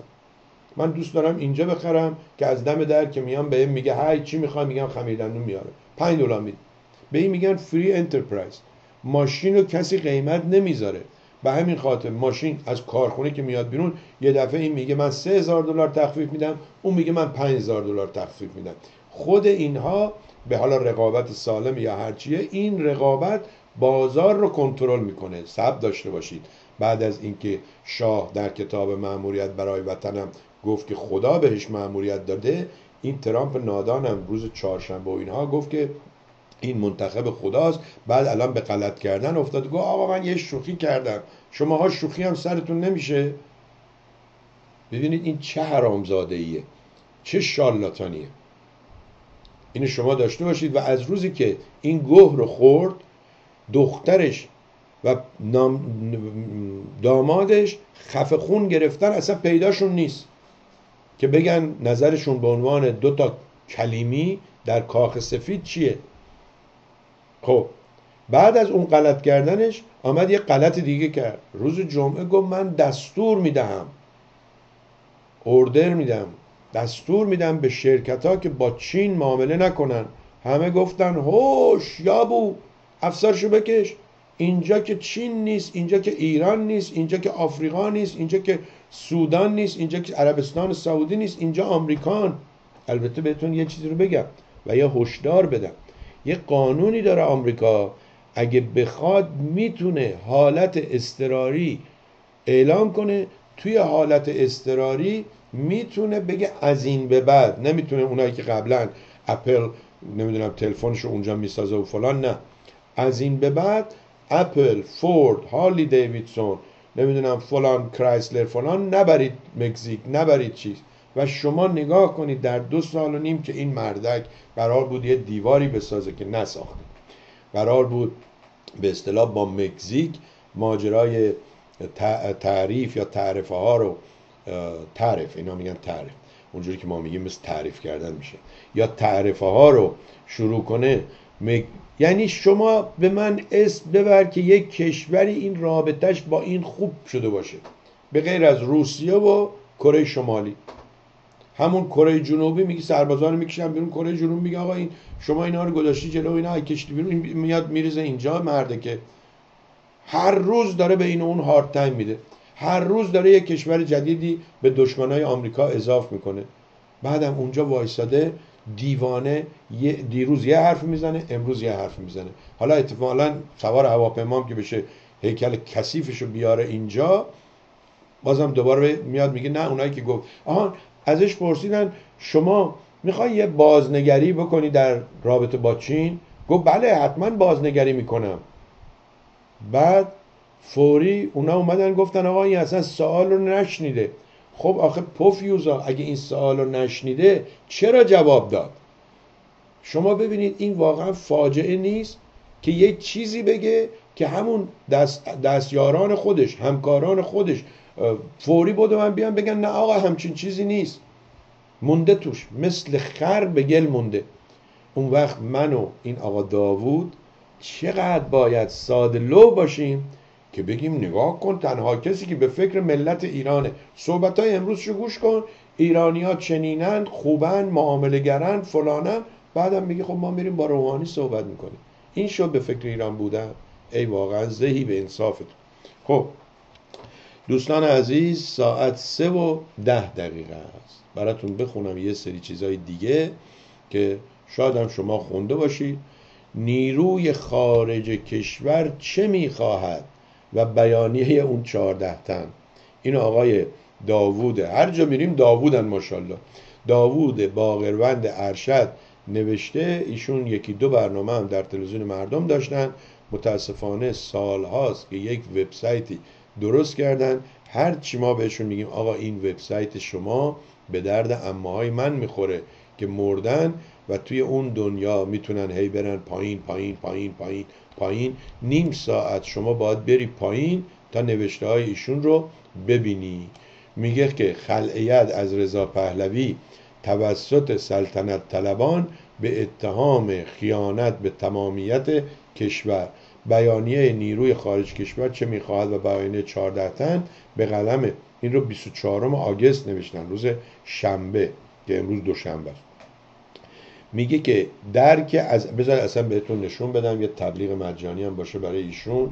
به ایشون هم بارها گفتم اگه خواستن می‌تونن وبسایتشون رو اینجا تبلیغ کنن ویدیوهاشون رو اینجا تبلیغ کنن. شما هم دوستان می‌تونید اگر کسی رو برنامه رو دوست دارید یا حتی بدتون میاد بیاین اینجا پخش کنید تا دیگران بدونن که یه کسایی هستن که چی میگن حالا چه خوب چه بد. بله. میگه که درک عظمت عمق و وسعت و البته ارزش انقلاب مشروطه و کسانی که آن را به بهای مبارزه بی امان این بی امان غلط اینجوری این شده امان امان با الفه از کلمه امنیت میاد. بی امان با تحمل زندان و تبعید و مایه گذاری از عمر و خون خود برای کشورمان به امان آوردن ضرورت حیاتی دارد و لازم است واقعی تاریخی بسیار مهم و اثرگذار با تمامی پیشینه و پسینه آن به خوبی توسط سه نسل اخیر بعد از انقلاب 22 بهمن درک و فهم گردد. من نمی‌فهمم. بعد از انقلاب 22 بهمن ما تا حالا سه نسل داشتیم. دوست عزیز هر نسل در تاریخ 25 ساله الان جدیدن دارن صحبت می‌کنن که سی سال باشه. شماها چجوری میان اینو می‌نویسید که اون بی سواد چارلنگیه کیه او پسره؟ اونم بیاد بگه ما نسل هفتم ما نسل پنجم میگم. آقا نسل پنجم که در صورت این نوشته ها بیشتر میگم. دوستان خیلی طولانی می همه هنوز اون دو صفحه قانون انشا توی وجودشون هست و نمی‌تونن بیان. و اما ماجرای بحرین پنجاه سال پیش چگونه از ایران جدا شد؟ جالبا پنجاه سال پیش آمریکایا سفینه میفرستن کره ما پنجاه سال پیش شاه مملکت شما میاد یه قسمتی از ایران رو می‌ذاره به رفراندوم یا رأیگیری. رفراندوم نه رفراندوم یعنی اصلاح طلبی میاد رأیگیری می‌کنه. آقا شیراز یا شما می‌خوان شیراز جدا باشه؟ یه عده هم میان پول میدن به یه مشت آدم بی سواد میان میگن بله. تهرون یا شما می‌خواید تهرون جدا باشه؟ بله. این که نشد که. و بله. میگی که بحرین 50 سال پیش چگونه از ایران جدا شد؟ اونایی که نمی‌دونید یه مقداری بخونید راجع بهش. حالا من نمی‌دونم که این مقاله هم درست توضیح داده یا هر چیزی که دیگران بهشون گفتن اینا نوشتن. ببینیم چی میگه.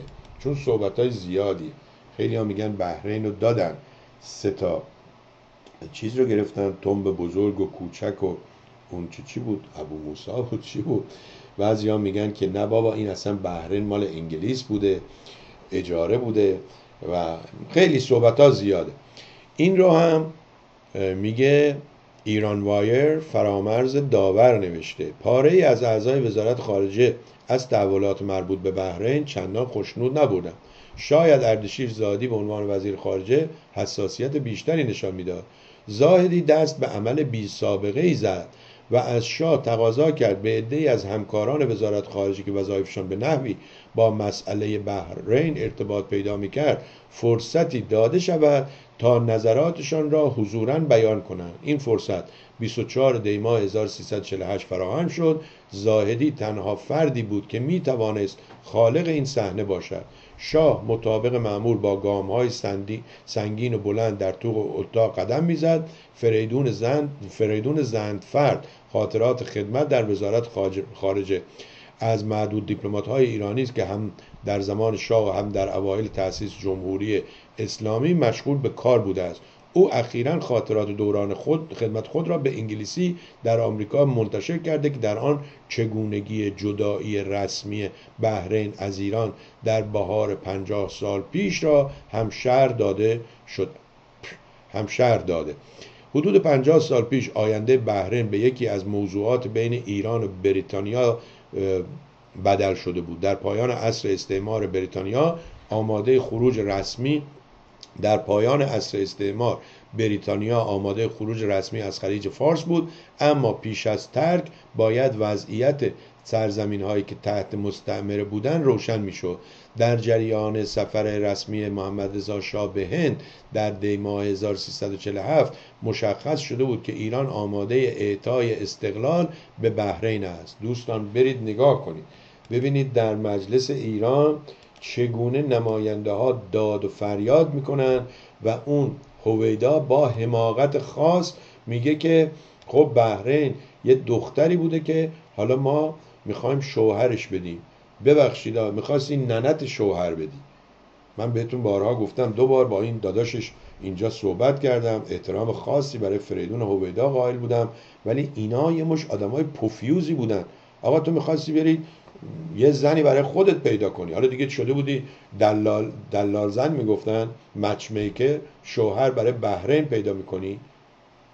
خب ببینیم این از این. آها. و اما خانم فائزه هاشمی هم آمده و وقتا یادتونه می‌گفتن کی میگه؟ مرده به تابوت نمیرینه. اینو شنیدید حتما نه؟ یا میگن مرده نمیگوزه. اینم برای اون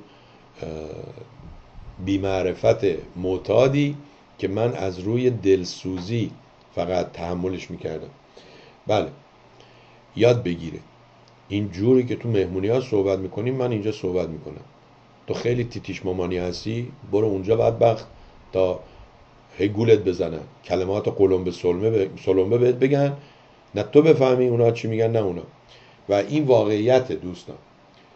کسی که میمیره تا چند ساعت بعد این آنزیم و نمی‌دونم اون دستگاه گوارشی و اسید و خوراکایی که توی به اصطلاح جهاز حازم شکم معده فلان ها هست اینا دارن کار می‌کنن. و ممکنه بادی از خودش ول بده. ممکنه حتی ادرار کنه نمی‌دونم مدفوع داشته باشه. اینه که میگن. بله. میگن که در مورد کارتر هم می‌تونید در یوتیوب ساخت ساختان منتظری پنج سال قبل از مرگش در بی بی سی رو گوش کنید سخنان منتظری. آقا یکم یواشتر بنویس درست بنویس. اگر ترامپ شالاتان هست باز دمش گرم که گفت گور پدر اینا خونده. خب آقا شالاتان کسیه که به شما چیزی میگه که شما دوست داری. این احمقایی که هر کسی آمد حقیقت رو گفت بهش میگن مزدور میگن بدبخت. مزدور اونیه که بغل دستت نشسته و در نقش همفکر تو هرچی تو میگی هرچی دوست داری بهت میگه و نمی‌ذاره مغز تو پرورش پیدا کنه چیزای مخالف رو بری دنبالش. این همه خمینی و یاران عقب افتادش گفتن مرگ بر آمریکا. چه اتفاقی برای آمریکا افتاد؟ حالا ترامپ شارلاتان و یه مشت عقب افتاده شاه و یه مشت زلیل و بدبخت مجاهد بگن آخوندا این چنین اون چنین. چه اتفاقی میفته دوست عزیز برو یکم فکر کن. سخنان مرتضوی رو منتظری رو برو اتفاقا نگاه کن. امروز من گذاشتم تو فیسبوک. من که نمی‌دونستم شما امروز صحبت از منتظری می‌کنی. در رابطه با اون ماجراهای 67 و اینکه خمینی اینجوری اعدام کرد اینا رو علکی و اینها می‌دونم. خب که چی حالا؟ بعد از اینکه همین آخوندا همیشه با کشورهای دیگه در تماس بودن هیچ حرفی نیست که ما میگیم میگیم آقای چمنارا شما هی نامه ننویس به ترامپ. شما مگه نیومدی اینجا مجلس؟ چی شد؟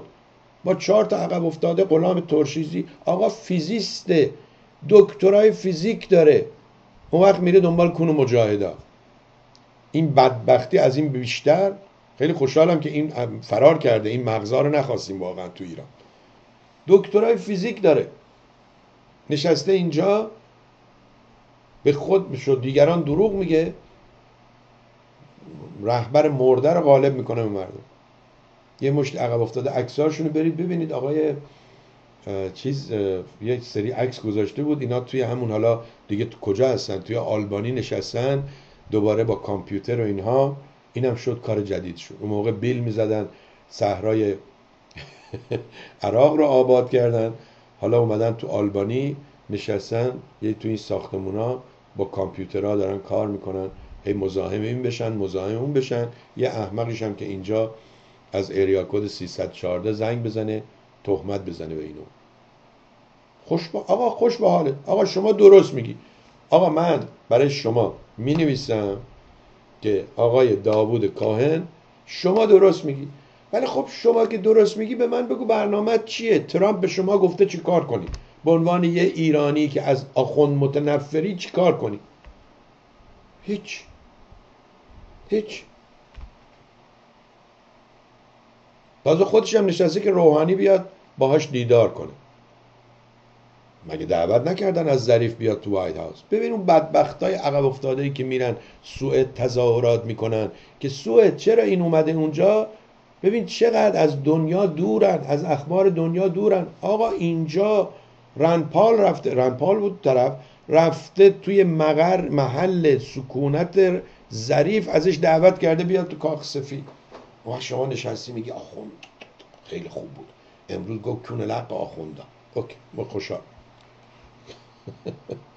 بله ببینیم فائزه خانم چی میگه. این خانواده رفسنجانی همشون ماشاءالله یکی پس از دیگری بردن و خوردن. حالا هم تازه توقع دارن مردم باز دنبال اینا باشن. الگوی پیشنهادی فازه هاشمی اینم مال پریروزه. تحول در جمهوری اسلامی از جنس گرباچو. فائزه هاشمی دختر رفسنجانی در مصاحبه در پاسخ به اینکه شما نه اصلاح طلبان را تایید می‌کنید و نه اصولگران را پس چه باید کرد؟ گفت تحول جدی. خوشبینانه ترین وضعیت می تواند تکرار شرایط شوروی باشد که گورباچوف به عنوان رئیس جمهور و رهبر حزب حاکم همین شرایط در کشورش را تشخیص داد و با شجاعت وارد اجرای کردن این تحول شد.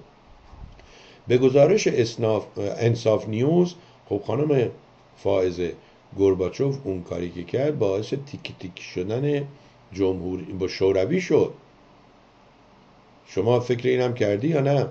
و امروز میگن اون کار غلطی کرد. و این چی اسمش؟ پوتین داره برمیگردونه روسیه رو به جماهیر شوروی. بله. به گزارش انصاف نیوز او که نماینده مجلس بوده است افزود مردم از روش های مختلف ناراضی هستند و مشکلات را گفتند خب یکی بگه پدر شما که چند سال رئیس جمهور بود چند سال رئیس مجلس بود چند سال نمی‌دونم تو مجلس خمرگان بود چند, چند سال ملیجک خمینی بود. چه غلطی کرد؟ اونا پایه و اساس این حکومت رو گذاشتن. و چون که خشت اول بابایتون گذاشت کج تا سریا می رود این حکومت کج. متن کامل گفتگوی فازه هاشمی با روزنامه آرمان با مقدمه متحره شفیعی در پی می آید فائزه هاشمی چهره شناخت شده در عرصه ورزش فرهنگ سیاست و و و است. که البته اکنون به قول خودش مم ممنوع همه شد همه چیز شده. او سریع سخن می‌گوید و حراسی از انتقادها پس از بیان موازهش ندارد.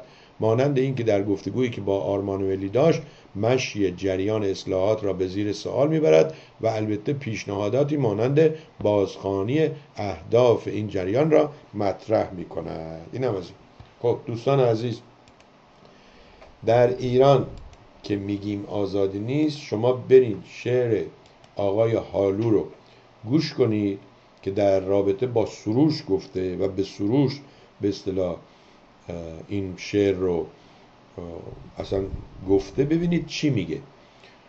به یه دوستی گفتم آقا اینو هر کی رفت گفت آخون چرا به مردم اجازه نمیدین؟ میگن آقا این ویدیو رو شما نگاه کن. یک کشور به ما نشون بده که یکی بتونه اینجوری درباره حکومت صحبت کن به اینا میگن سوپاپ اطمینان. اگه شما امروز بری به آخوند بگی فلان همون آخونده بهت میگه آقا این آقای نوریزاد رو نگاه کن. نه فقط در تهران در خیابون خودش. از این استان به اون استان از این شهر به اون شهر. فوش میده و میره و میاد. ما هم کاری به کارش نداریم. حالا گهگاهی هم می‌گیرن اینا رو نمی‌دونم. بعضی ها میگن اینا وقتی می‌گیرن چون موقعی که می‌خوان برن مسافرت چیزی میرن مسافرت رو میان. نمی‌دونیم خب این از این آقای کاهن عزیز دوست گرامی. بارها گفتم سعی کنید دیگه هی جمله به جمله که من حرف می‌زنم شما هم جمله به جمله جواب ندید. اگه خواستید می‌تونید توی برنامه بیان. مهمون من باشید. بعد به اصطلاح با هم صحبت کنیم. اونجا اینجوری. و الا اینجوری یه مقداری به دوستان دیگه بی انصافیه که نشستن که این سربی حالا بعد از سه روز بیاد. چند تا کلمه حرف مزخرف بزنه. شما باعث میشه که من حرفای مزخرفم کم بشه و بیشتر از چیزهایی که شما منطقی می‌نویسی استفاده کنم. بله. خب.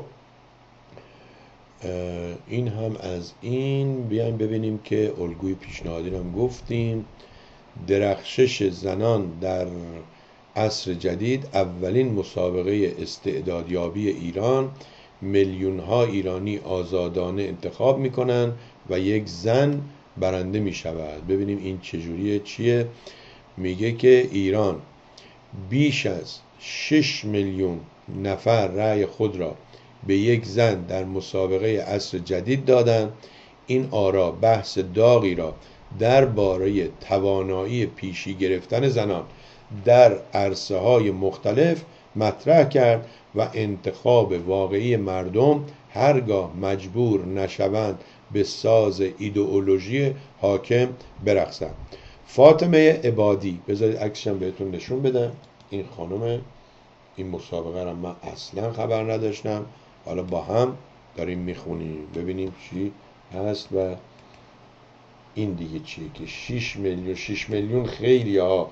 شما ببینید این بزرگترین مسابقات آمریکا میگه مثلا که اینجا 330 میلیون خودشه. چند میلیون هم خارج است و اینا مثلا میگه 10 میلیون رأی دادن. حالا میگه فاطمه عبادی در مسابقه استعدادیابی به نام عصر جدید تلویزیون جمهوری اسلامی در میان 1500 شرکت کننده اول شد.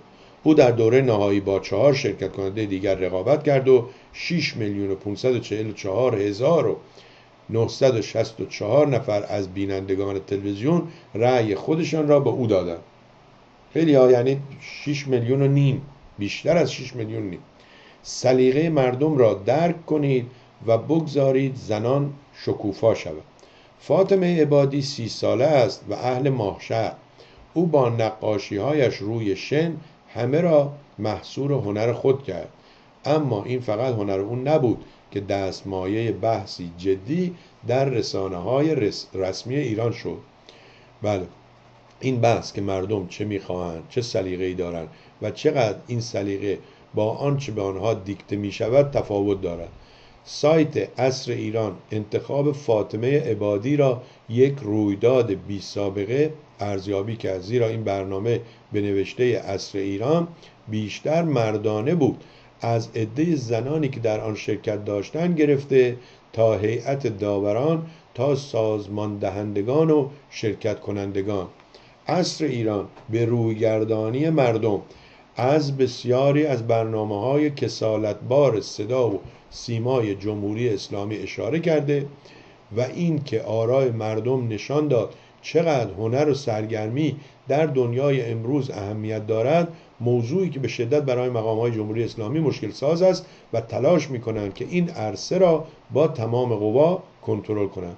این سایت توجه می‌دهد که در میان پنج نفری که به مرحله نهایی رسیدن هیچ یک, هیچ یک از محصول نظام استعداد کش آموزش پرورش نیستند و آرای مردم نشان می‌دهد که ساختار سیاسی و صدا و سیما چاره ای ندارند جز اینکه سلیقه قالب مردم را درک کنند و اگر این برنامه به معنی درک آن است جای خوشحالی دارد. به ایشون تبریک میگم.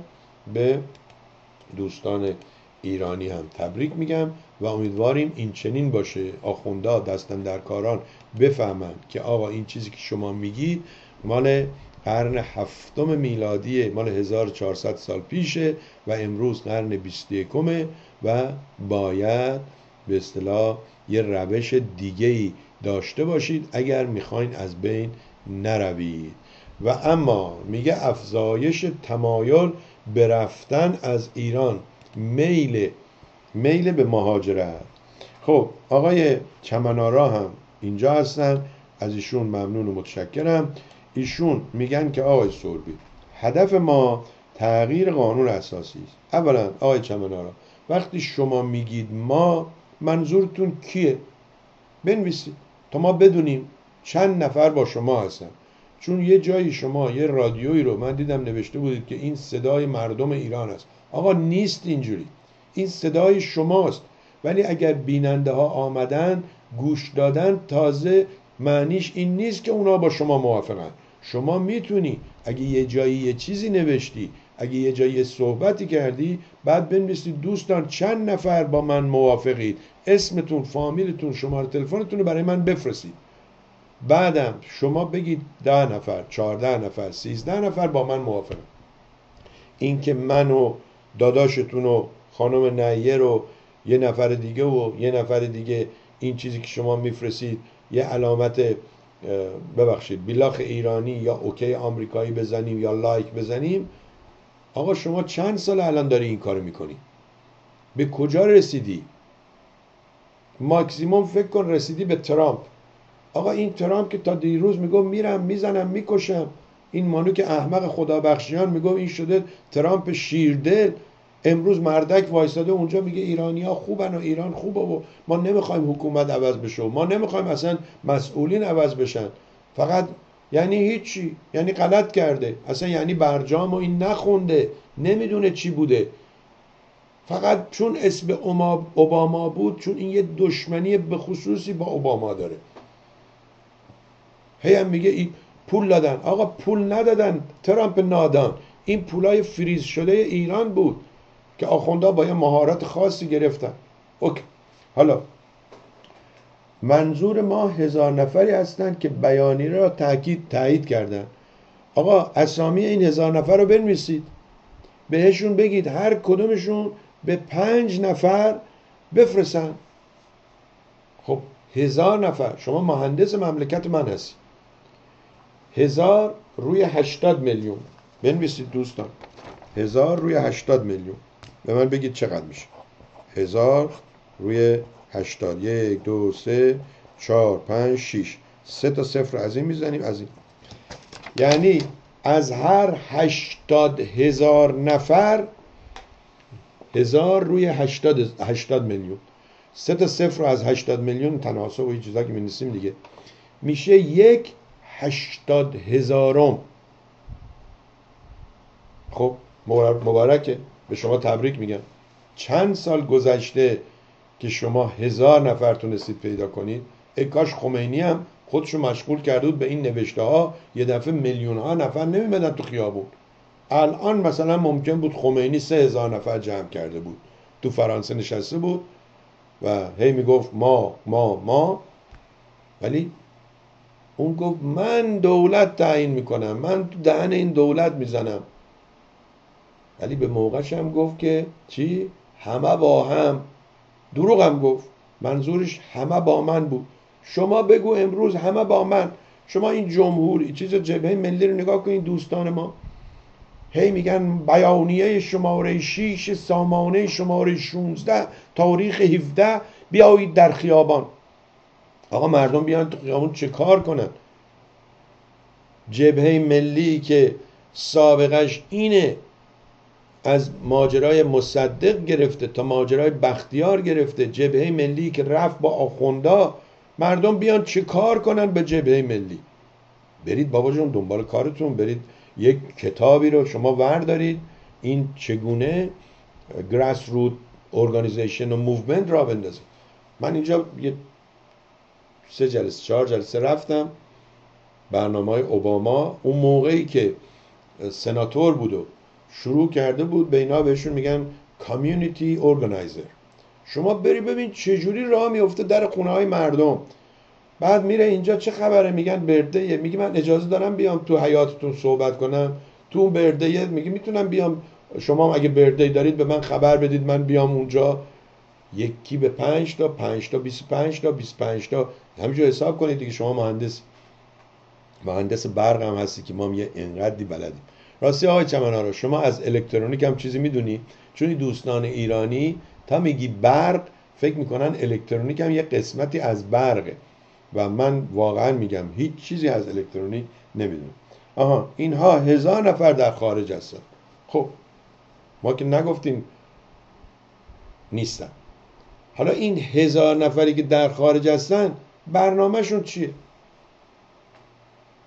آقا شما اگه می‌خوای یک جایی رو بسازی که کامیونای آشغال بیان اونجا آشغالاشون رو خالی کنن شما اینو بسوزونی از این گرما یه حرکتی ایجاد بشه برقی ایجاد بشه. بلوپرینت داری. کاغذ کالک یادتونه؟ کاغذ مومی بهش می‌گفتن. کاغذ روغنی یا مومی می‌گفتن؟ یه چیزی اینجوری. با اون قلمای رپیدوگراف من داشتم تا اینجا تا چند مدت پیش که اینجوری هم تکونش می‌دادیم یه چیزی داخلش بود تلق تلق صدا می‌داد و میکشیدیم. نقشه می‌کشی نقشه رو یه نفر دیگه نگاه می‌کنه بعد میگه ای بابا اینجا آ را اس تی می‌خوره به اس آ تی. از اینوری منفجر میشه. بعد شما تصحیحش می‌کنی. اون هزار نفر کدومشون با برنامه های شما موافق؟ اصلا برنامهتون چیه؟ امروز بیاین مجلس. خب آمدید و خوردید و صحبت کردید و رفتید. اصلا برای شما کسر شن نیست که با افرادی مثل فخرآور. فخرآور شما سابقهش از زندان می‌دونی؟ برو اون آقایی که میگه فخرآور آب جوش ریخته روش ببین. برو ماجرای فخرآور که تو تنبونش تلفن بوده که حرفای اینا رو میفرستاده به دفتر زندان. برو ببین. برو اونایی که همراهش تو زندان بودن سابقهش رو ببین. آقای ریچارد پر بره یه نفر رو از دوبی برداره بیاد. وقت شما بلند میشی میای نمیشناسیشون چون نمی‌شناسی میافتی تو دامشون. بعدم خیلی قشنگ به من میگی من مثل اسب اساری هستم کار خودم رو می‌کنم. آقا اسب اساری هم اگه به چرخ درسته که نمی‌فهمه چی کار می‌کنه ولی بالاخره آخر اسب نتیجه کارش معلومه. شما من اون روز بهت گفتم اگه خاصی بیا صحبت من گفتم جواب نداد. شما گفتی من جواب دادم. برید جوابای خودتون رو بخونید. آقا من دعوت می‌کنم از شما آقای چمنارا میای بریم اینجا چای بخوریم؟ شما باید بگی بله میام. یا بگی نه نمیام. خیلی ممنون. برید بخونید. نوشته های خودتون رو بخونید. اگه شما وقت نداری نوشته های خودتو بخونی خب باید یکی استخدام کنی کاراتون رو انجام بدید اگه شما نمی‌تونی این کارا رو انجام بدید چه تفاوتی دارید شما با آقای ترامپ؟ ترامپ هم آمده مسئولیت کاری رو قبول کرده که اون کارا رو نمی‌تونه انجام بده. به همین خاطر همه رو ول کرده به یاد خدا. شما ببین بگو الان وزیر اقتصاد این کیه وزیر بهداریش کیه؟ هیچ که معلوم نیست. همه که چی بهش میگن؟ acting نمی‌دونم فلان acting secretary acting secretary. چرا؟ چون می‌دونه تمام اینها اگه بخوان بیان رأی اعتماد بگیرن از مجلس یا مجلسین قبول نمیشن. همش acting acting. ممنونم که اینجا هستید. ما هشت دقیقه بیشتر رفتیم. بله.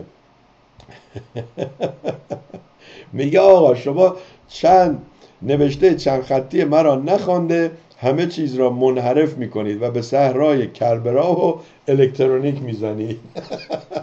این صحرای کربلا هم ماجرای شد. و اما برگردیم به افزایش تمایل به رفتن از ایران. میل به مهاجرت با مهاجرت فرق می کند در روزهای گذشته انتقادهای جوانی از مشکلات ایران و به دنبال آن فرار مغزها در حضور رهبر خبرساز شد. جوانی که می‌گوید شمار زیادی از مدال آوران المپیک به دلیل مشکلات فرار را برقرار ترجیح می‌دهد. با وجود آنکه از مهاجرت افراد متخصص و تحصیل کرده بسیار گفته می شود اما آنطور که فیروزه اکبریان در گزارشش می‌گوید نه آمار مشخصی از آن وجود دارد و نه مشخص از چه اقدامهایی برای مقابله با آن انجام شده است. این گزارش را ببینید. یک ویدیوی هست. اگه خواستید بگید ببین براتون بفرستم یا روی بی بی سی هست. دوستان عزیز من از شما ممنون و متشکرم که تحمل می‌کنید واقعا. امیدوارم پس از اینکه تحمل کردید این گفته های من رو شنیدید حالا تعمل کنید. تعمل یعنی در مورد موضوعات فکر کنید. بعد برید تحقیق کنید. بعد از تحقیق یا قبول کنید یا رد کنید. اینکه سر دعوا با کسی نداریم. اون نادانی که از ترس زنگ می‌زنه از فکس ماشین. خب من می‌تونم برم ده سنت بدم به این که چیه فدکس برای تو فوش خارمادر فکس کنم. ولی ارزش نداری. همونجوری که به اون معتاد احمق نمی‌خوام بگیم رانن تاکسی خدای نکرده پود داون کرده باشیم کسی رو. ران تاکسی افتخاره تو این مملکت. جواب ندادم. شما اگه حرفی داری زنگ بزن. شماره تلفنت رو بذار من بهت زنگ می‌زنم برنامه بیا اینجا صحبت کن و دو دقیقه شما صحبت کن یه دقیقه من صحبت می‌کنم. از این بهتر شما جای دیدی؟ آقا شما 20 دقیقه مهمان من باش. ده تا دو دقیقه شما صحبت کن ده تا یک دقیقه من صحبت می‌کنم. میشه نیم ساعت در برنامه من هستی. ولی مهمون یه باره. هی دیگه هر روز نگو من می‌خوام مهمونت باشم. چون منم اگه هر روز خاصی مهمون باشی میگم حالا امروز که خاصی بیا چلو کباب بخر. میگم فردا که می‌خوای بیای نمی‌دونم دو تا ساندویچ بگی بیار اینجوری. ما باید یه جایی یاد بگیریم برای حرفمون ارزش قائل بشیم. من انقدر ارزش قائل شدم که مثل شماها بدون نام و نشان زندگی نمی کنم قایم نشدم پشت عکس دیگران. آمدم این جلو میگم عقیده من اینه. منم یه روزی مثل شما نادان بودم کمدان بودم دنبال شاه و رضا, رضا پهلوی بودم آمدم اینجا دیدم اینا نیستن. خداییشم نباید باشه. آقا طرف درست میگه میگه بابا بزرگ این از طویله آمد شد شاه. بابای این مجبور شد بشه شاه چون شغل دیگه ای بلد نبود. حتی دیپلم نداشت. این مردکی که انقدر پول داره کرم داره بیاد بشه شاه. کرم داره مریلند و پوتومک رو ول کنه. بیاد بره ایران زندگی کنه. ایرانی که خودش میگه که میگه مردم ایران فهم و شعور نداشتن. بابای من می‌خواست اینا رو آدم کنه. ولی شاه که اینا رو گوش نمی‌دونن نمی‌فهمن. فقط اونجایی رو گوش میدن که آقا این گفت من خیلی دموکرات هستم. در صورت ممنون و متشکرم از یکایی که شما دوستان از آقای ابهری کاکو حالا میاد؟ آمدی جانم به قربانت. ولی حالا چرا حالا که برنامه سربی به پایان آمده است حالا چرا بی وفا؟ دوستان عزیز شما هم می‌تونید در تلویزیون مردم برنامه داشته باشید. شما هم می‌تونید بدون برنامه داشتن تلویزیون مردم رو حمایت کنید. خیلی آسون. همین آدرس که می‌بینید. paypal.me ممیز مردم TV یا با ایمیل یه ایمیل بفرستید. می‌تونید بدون حتی داشتن حساب با PayPal این کار رو انجام بدید. این روزا شرکت های دیگه هم هستن که این کار رو انجام میدن. حتی گوگل مانی, مانی میفرسته فیسبوک می‌تونید مانی ارسال کنید و امیدوارم که بتونیم با هم گفت و شنودی دوستانه داشته باشیم. حتی اگر مخالف باشیم. یک بار دیگه این رو برای اون نادانی میگم که شماره تلفنش چند بود؟ 818 و با فکس زنگ زده بود. بله. وقتا یه عرق فروشی بود این کارو می‌کرد. بالاخره یه روز من زنگ زدم با فکس براش نوشتم آقا این که نمیشه شما با فکس می‌نویسی. خب منم مجبورم با فکس فوشت بدم. ولی اگه می‌خوای صحبت کنی شماره تلفن. شماره تلفن داد و صحبت کردیم و اینها. بعدم انقدر دوست ما شد گفت من می‌خوام اصلا حمایت کنم. ولی خب معلومه که اینایی که اینجوری دروغ تو ذاتشونه و هیچ وقت اون کار انجام نداد. بذارید ما ببینیم این چرا نمیاد. چرا ما برای اون کپیتال وان میاد در صورت که آه برای که تراول رو زدیم. گفتم چی بود؟ آها 818 264 1462 اگه شما هم مثل این آقا هنوز تو قرن بیستم زندگی می‌کنید فکس ماشین دارید یه فکس براش بفرستید بگید سوربی احتمال زیاد از اول برنامه نشسته بوده همجور گوش می‌داده ببینه من کی فوشش میدم. بگید سوربی امروز درباره شما و ترسوهای دیگه مثل شما صحبت کرد. اگر شهامت داری شجاعت داری فکر می‌کنی حرفت درسته بیا پشت حرفت وایسا. 818 264 14 62 روز و روزگار بر شما خوب و خوش با امید روزهای بهتر آینده روشنتر. امروز معمولا دوشنبه ها با آقای مینوی هستیم ولی این ایام تابستون و اینها ما گفتیم بنده خدا هم استراحت کنه تا بعد از مدرسه ها اگر دوست داشتن بازم اینجا می‌تونن برنامه داشته باشن. اگر نه که هستن جاهای دیگه شما می‌تونید ویدیوهاشون رو تماشا کنید. خب گفت به پایان آمد این دفتر. حکایت همچنان باقی است. اینجا چیزی نوشتم؟ آها. بذارید من این پیام آقای اکبری رو براتون پخش کنم. آقای اکبر اکبری اینجا دیگه نوشتم که یادم نره. بذارید ببینم چی میگه. سربی امروز خیلی بد اخلاق شدی. از بهرامی تا چمنارا دستخوش شدن دستخوش شدن. در زم مانوک در بیمارستان است. امیدواریم حالش خوب بشه. و بفهمه. حالا که رفته بیمارستان آقا بی برو دنبال زندگی اگه زندگی داره این بدبخت ها معمولا نه زنی دارن نه بچه ای دارن نه نوه ای دارن و از بیکاری میان تو تلویزیون. ولی همین رو شما می‌تونید از من سوال کنید. آقا تو که زن داری بچه داری نوه داری مرض داری میای اینجا اعصاب خودتو خورد می‌کنی؟ خب بریم آقای اکبری چی گفته؟ تو فکر هستم که برم آقا دنبال زندگی کار کاسبی. به این آقای چمنارا بگم بیاد اینجا. یکی از این سیستما چی میگن؟ اینسریشن چی بهش میگن اینا که زباله ها رو آتیش می‌زنن و برق تولید می‌کنن؟ بله احتمالا خواستی صدا. آهان این درباره هوشنگ یسمه ما صحبت کردیم و اکبری پیغام گذاشته بود نوشته بود هوشنگ یسمه را هم می‌شناسن. احتمالا اگه خواستی صدامو پخش کنی اب نداره. خیلی ممنون. کار بسیار درست همینه که اگه کسی پیام می‌ذاره بنویسه که می‌تونید صدای منو پخش کنید یا این صدا برای خودتون بود. می‌تونید شما حتی تو پیام بگید که این پیام فقط برای خود شماست. بفرمایید. سلام اکبری هستم شیرجنگ از برلین. امروز برای برنامه برای لایوش دیر رسیدم متاسفانه. ولی شبیه نشسته بودم دارم نگاه یوتیوب می‌کنم. از طریق یوتیوب نگاه می‌کنم. کیف کردم حال زن مجاهدی رو گرفتی. اینا انشای حرف زدنشون املای حرف همشون مثل هم دیگه هستش. خوشم اومد دست درد نکنه فدات بشم. می‌بینی؟ آقای معتادی که اینجا هستی چند بار بهت گفتم بیا ببینمت. نمی‌تونی از خونت حتی تکون بخوری؟ اینقدر اون موقعی که خوشتیب بودی و خوشهیکل بودی کشیدی که الان نمی‌تونی پات تکون بدی؟ کسایی هم هستن که من حرف دل اونا رو می‌زنم. می‌بینی آقای ترسویی که از اریا کد 818 با فکس ماشین زنگ می‌زنی پیام می‌ذاری؟ کسایی هم هستن مثل آقای اکبری که میگه آقا اینا مثل ربات مثل آدم آهنی انشاشون هم حتی یکیه. چون هر چی بهش میگن حقنه شده بهشون اینا فقط مثل توتی پس میدن. آقای اکبری ممنون متشکرم. از عکسای قشنگ روی صفحه خیلی متشکرم. دیدم دوستانم خیلی تعریف می‌کنن و دوستان عزیز اون دوست ما آقای احمد رضا کریمی.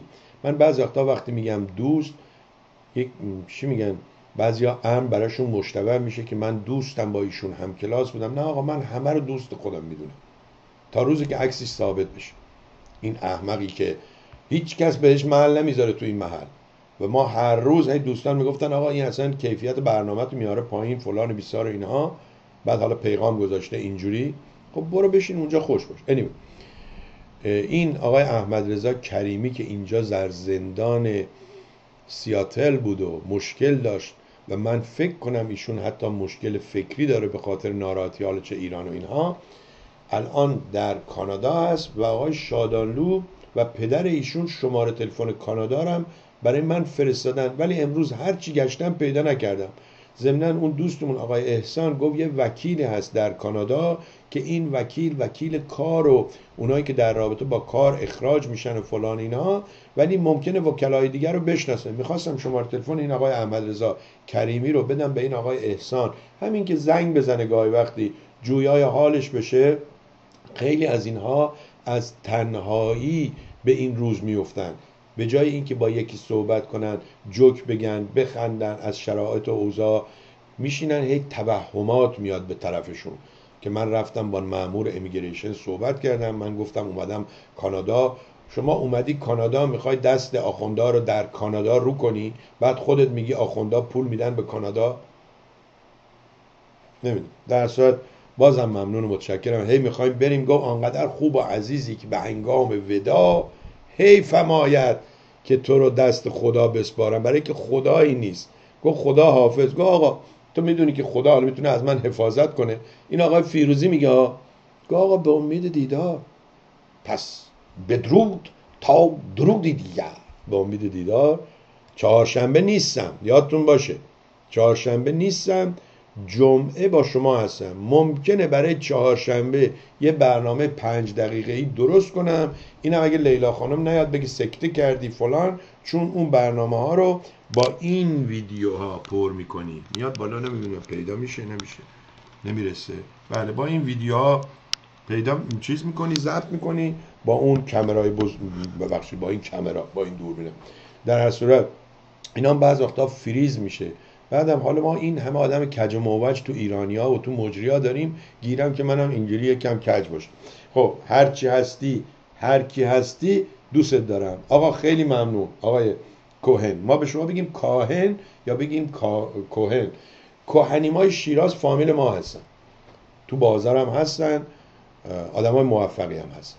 مرسی مرسی مرسی. یعنی یه جورایی ما هم بی خود نی به این کلمی ها میگیم جود. خود ما هم جود هستیم.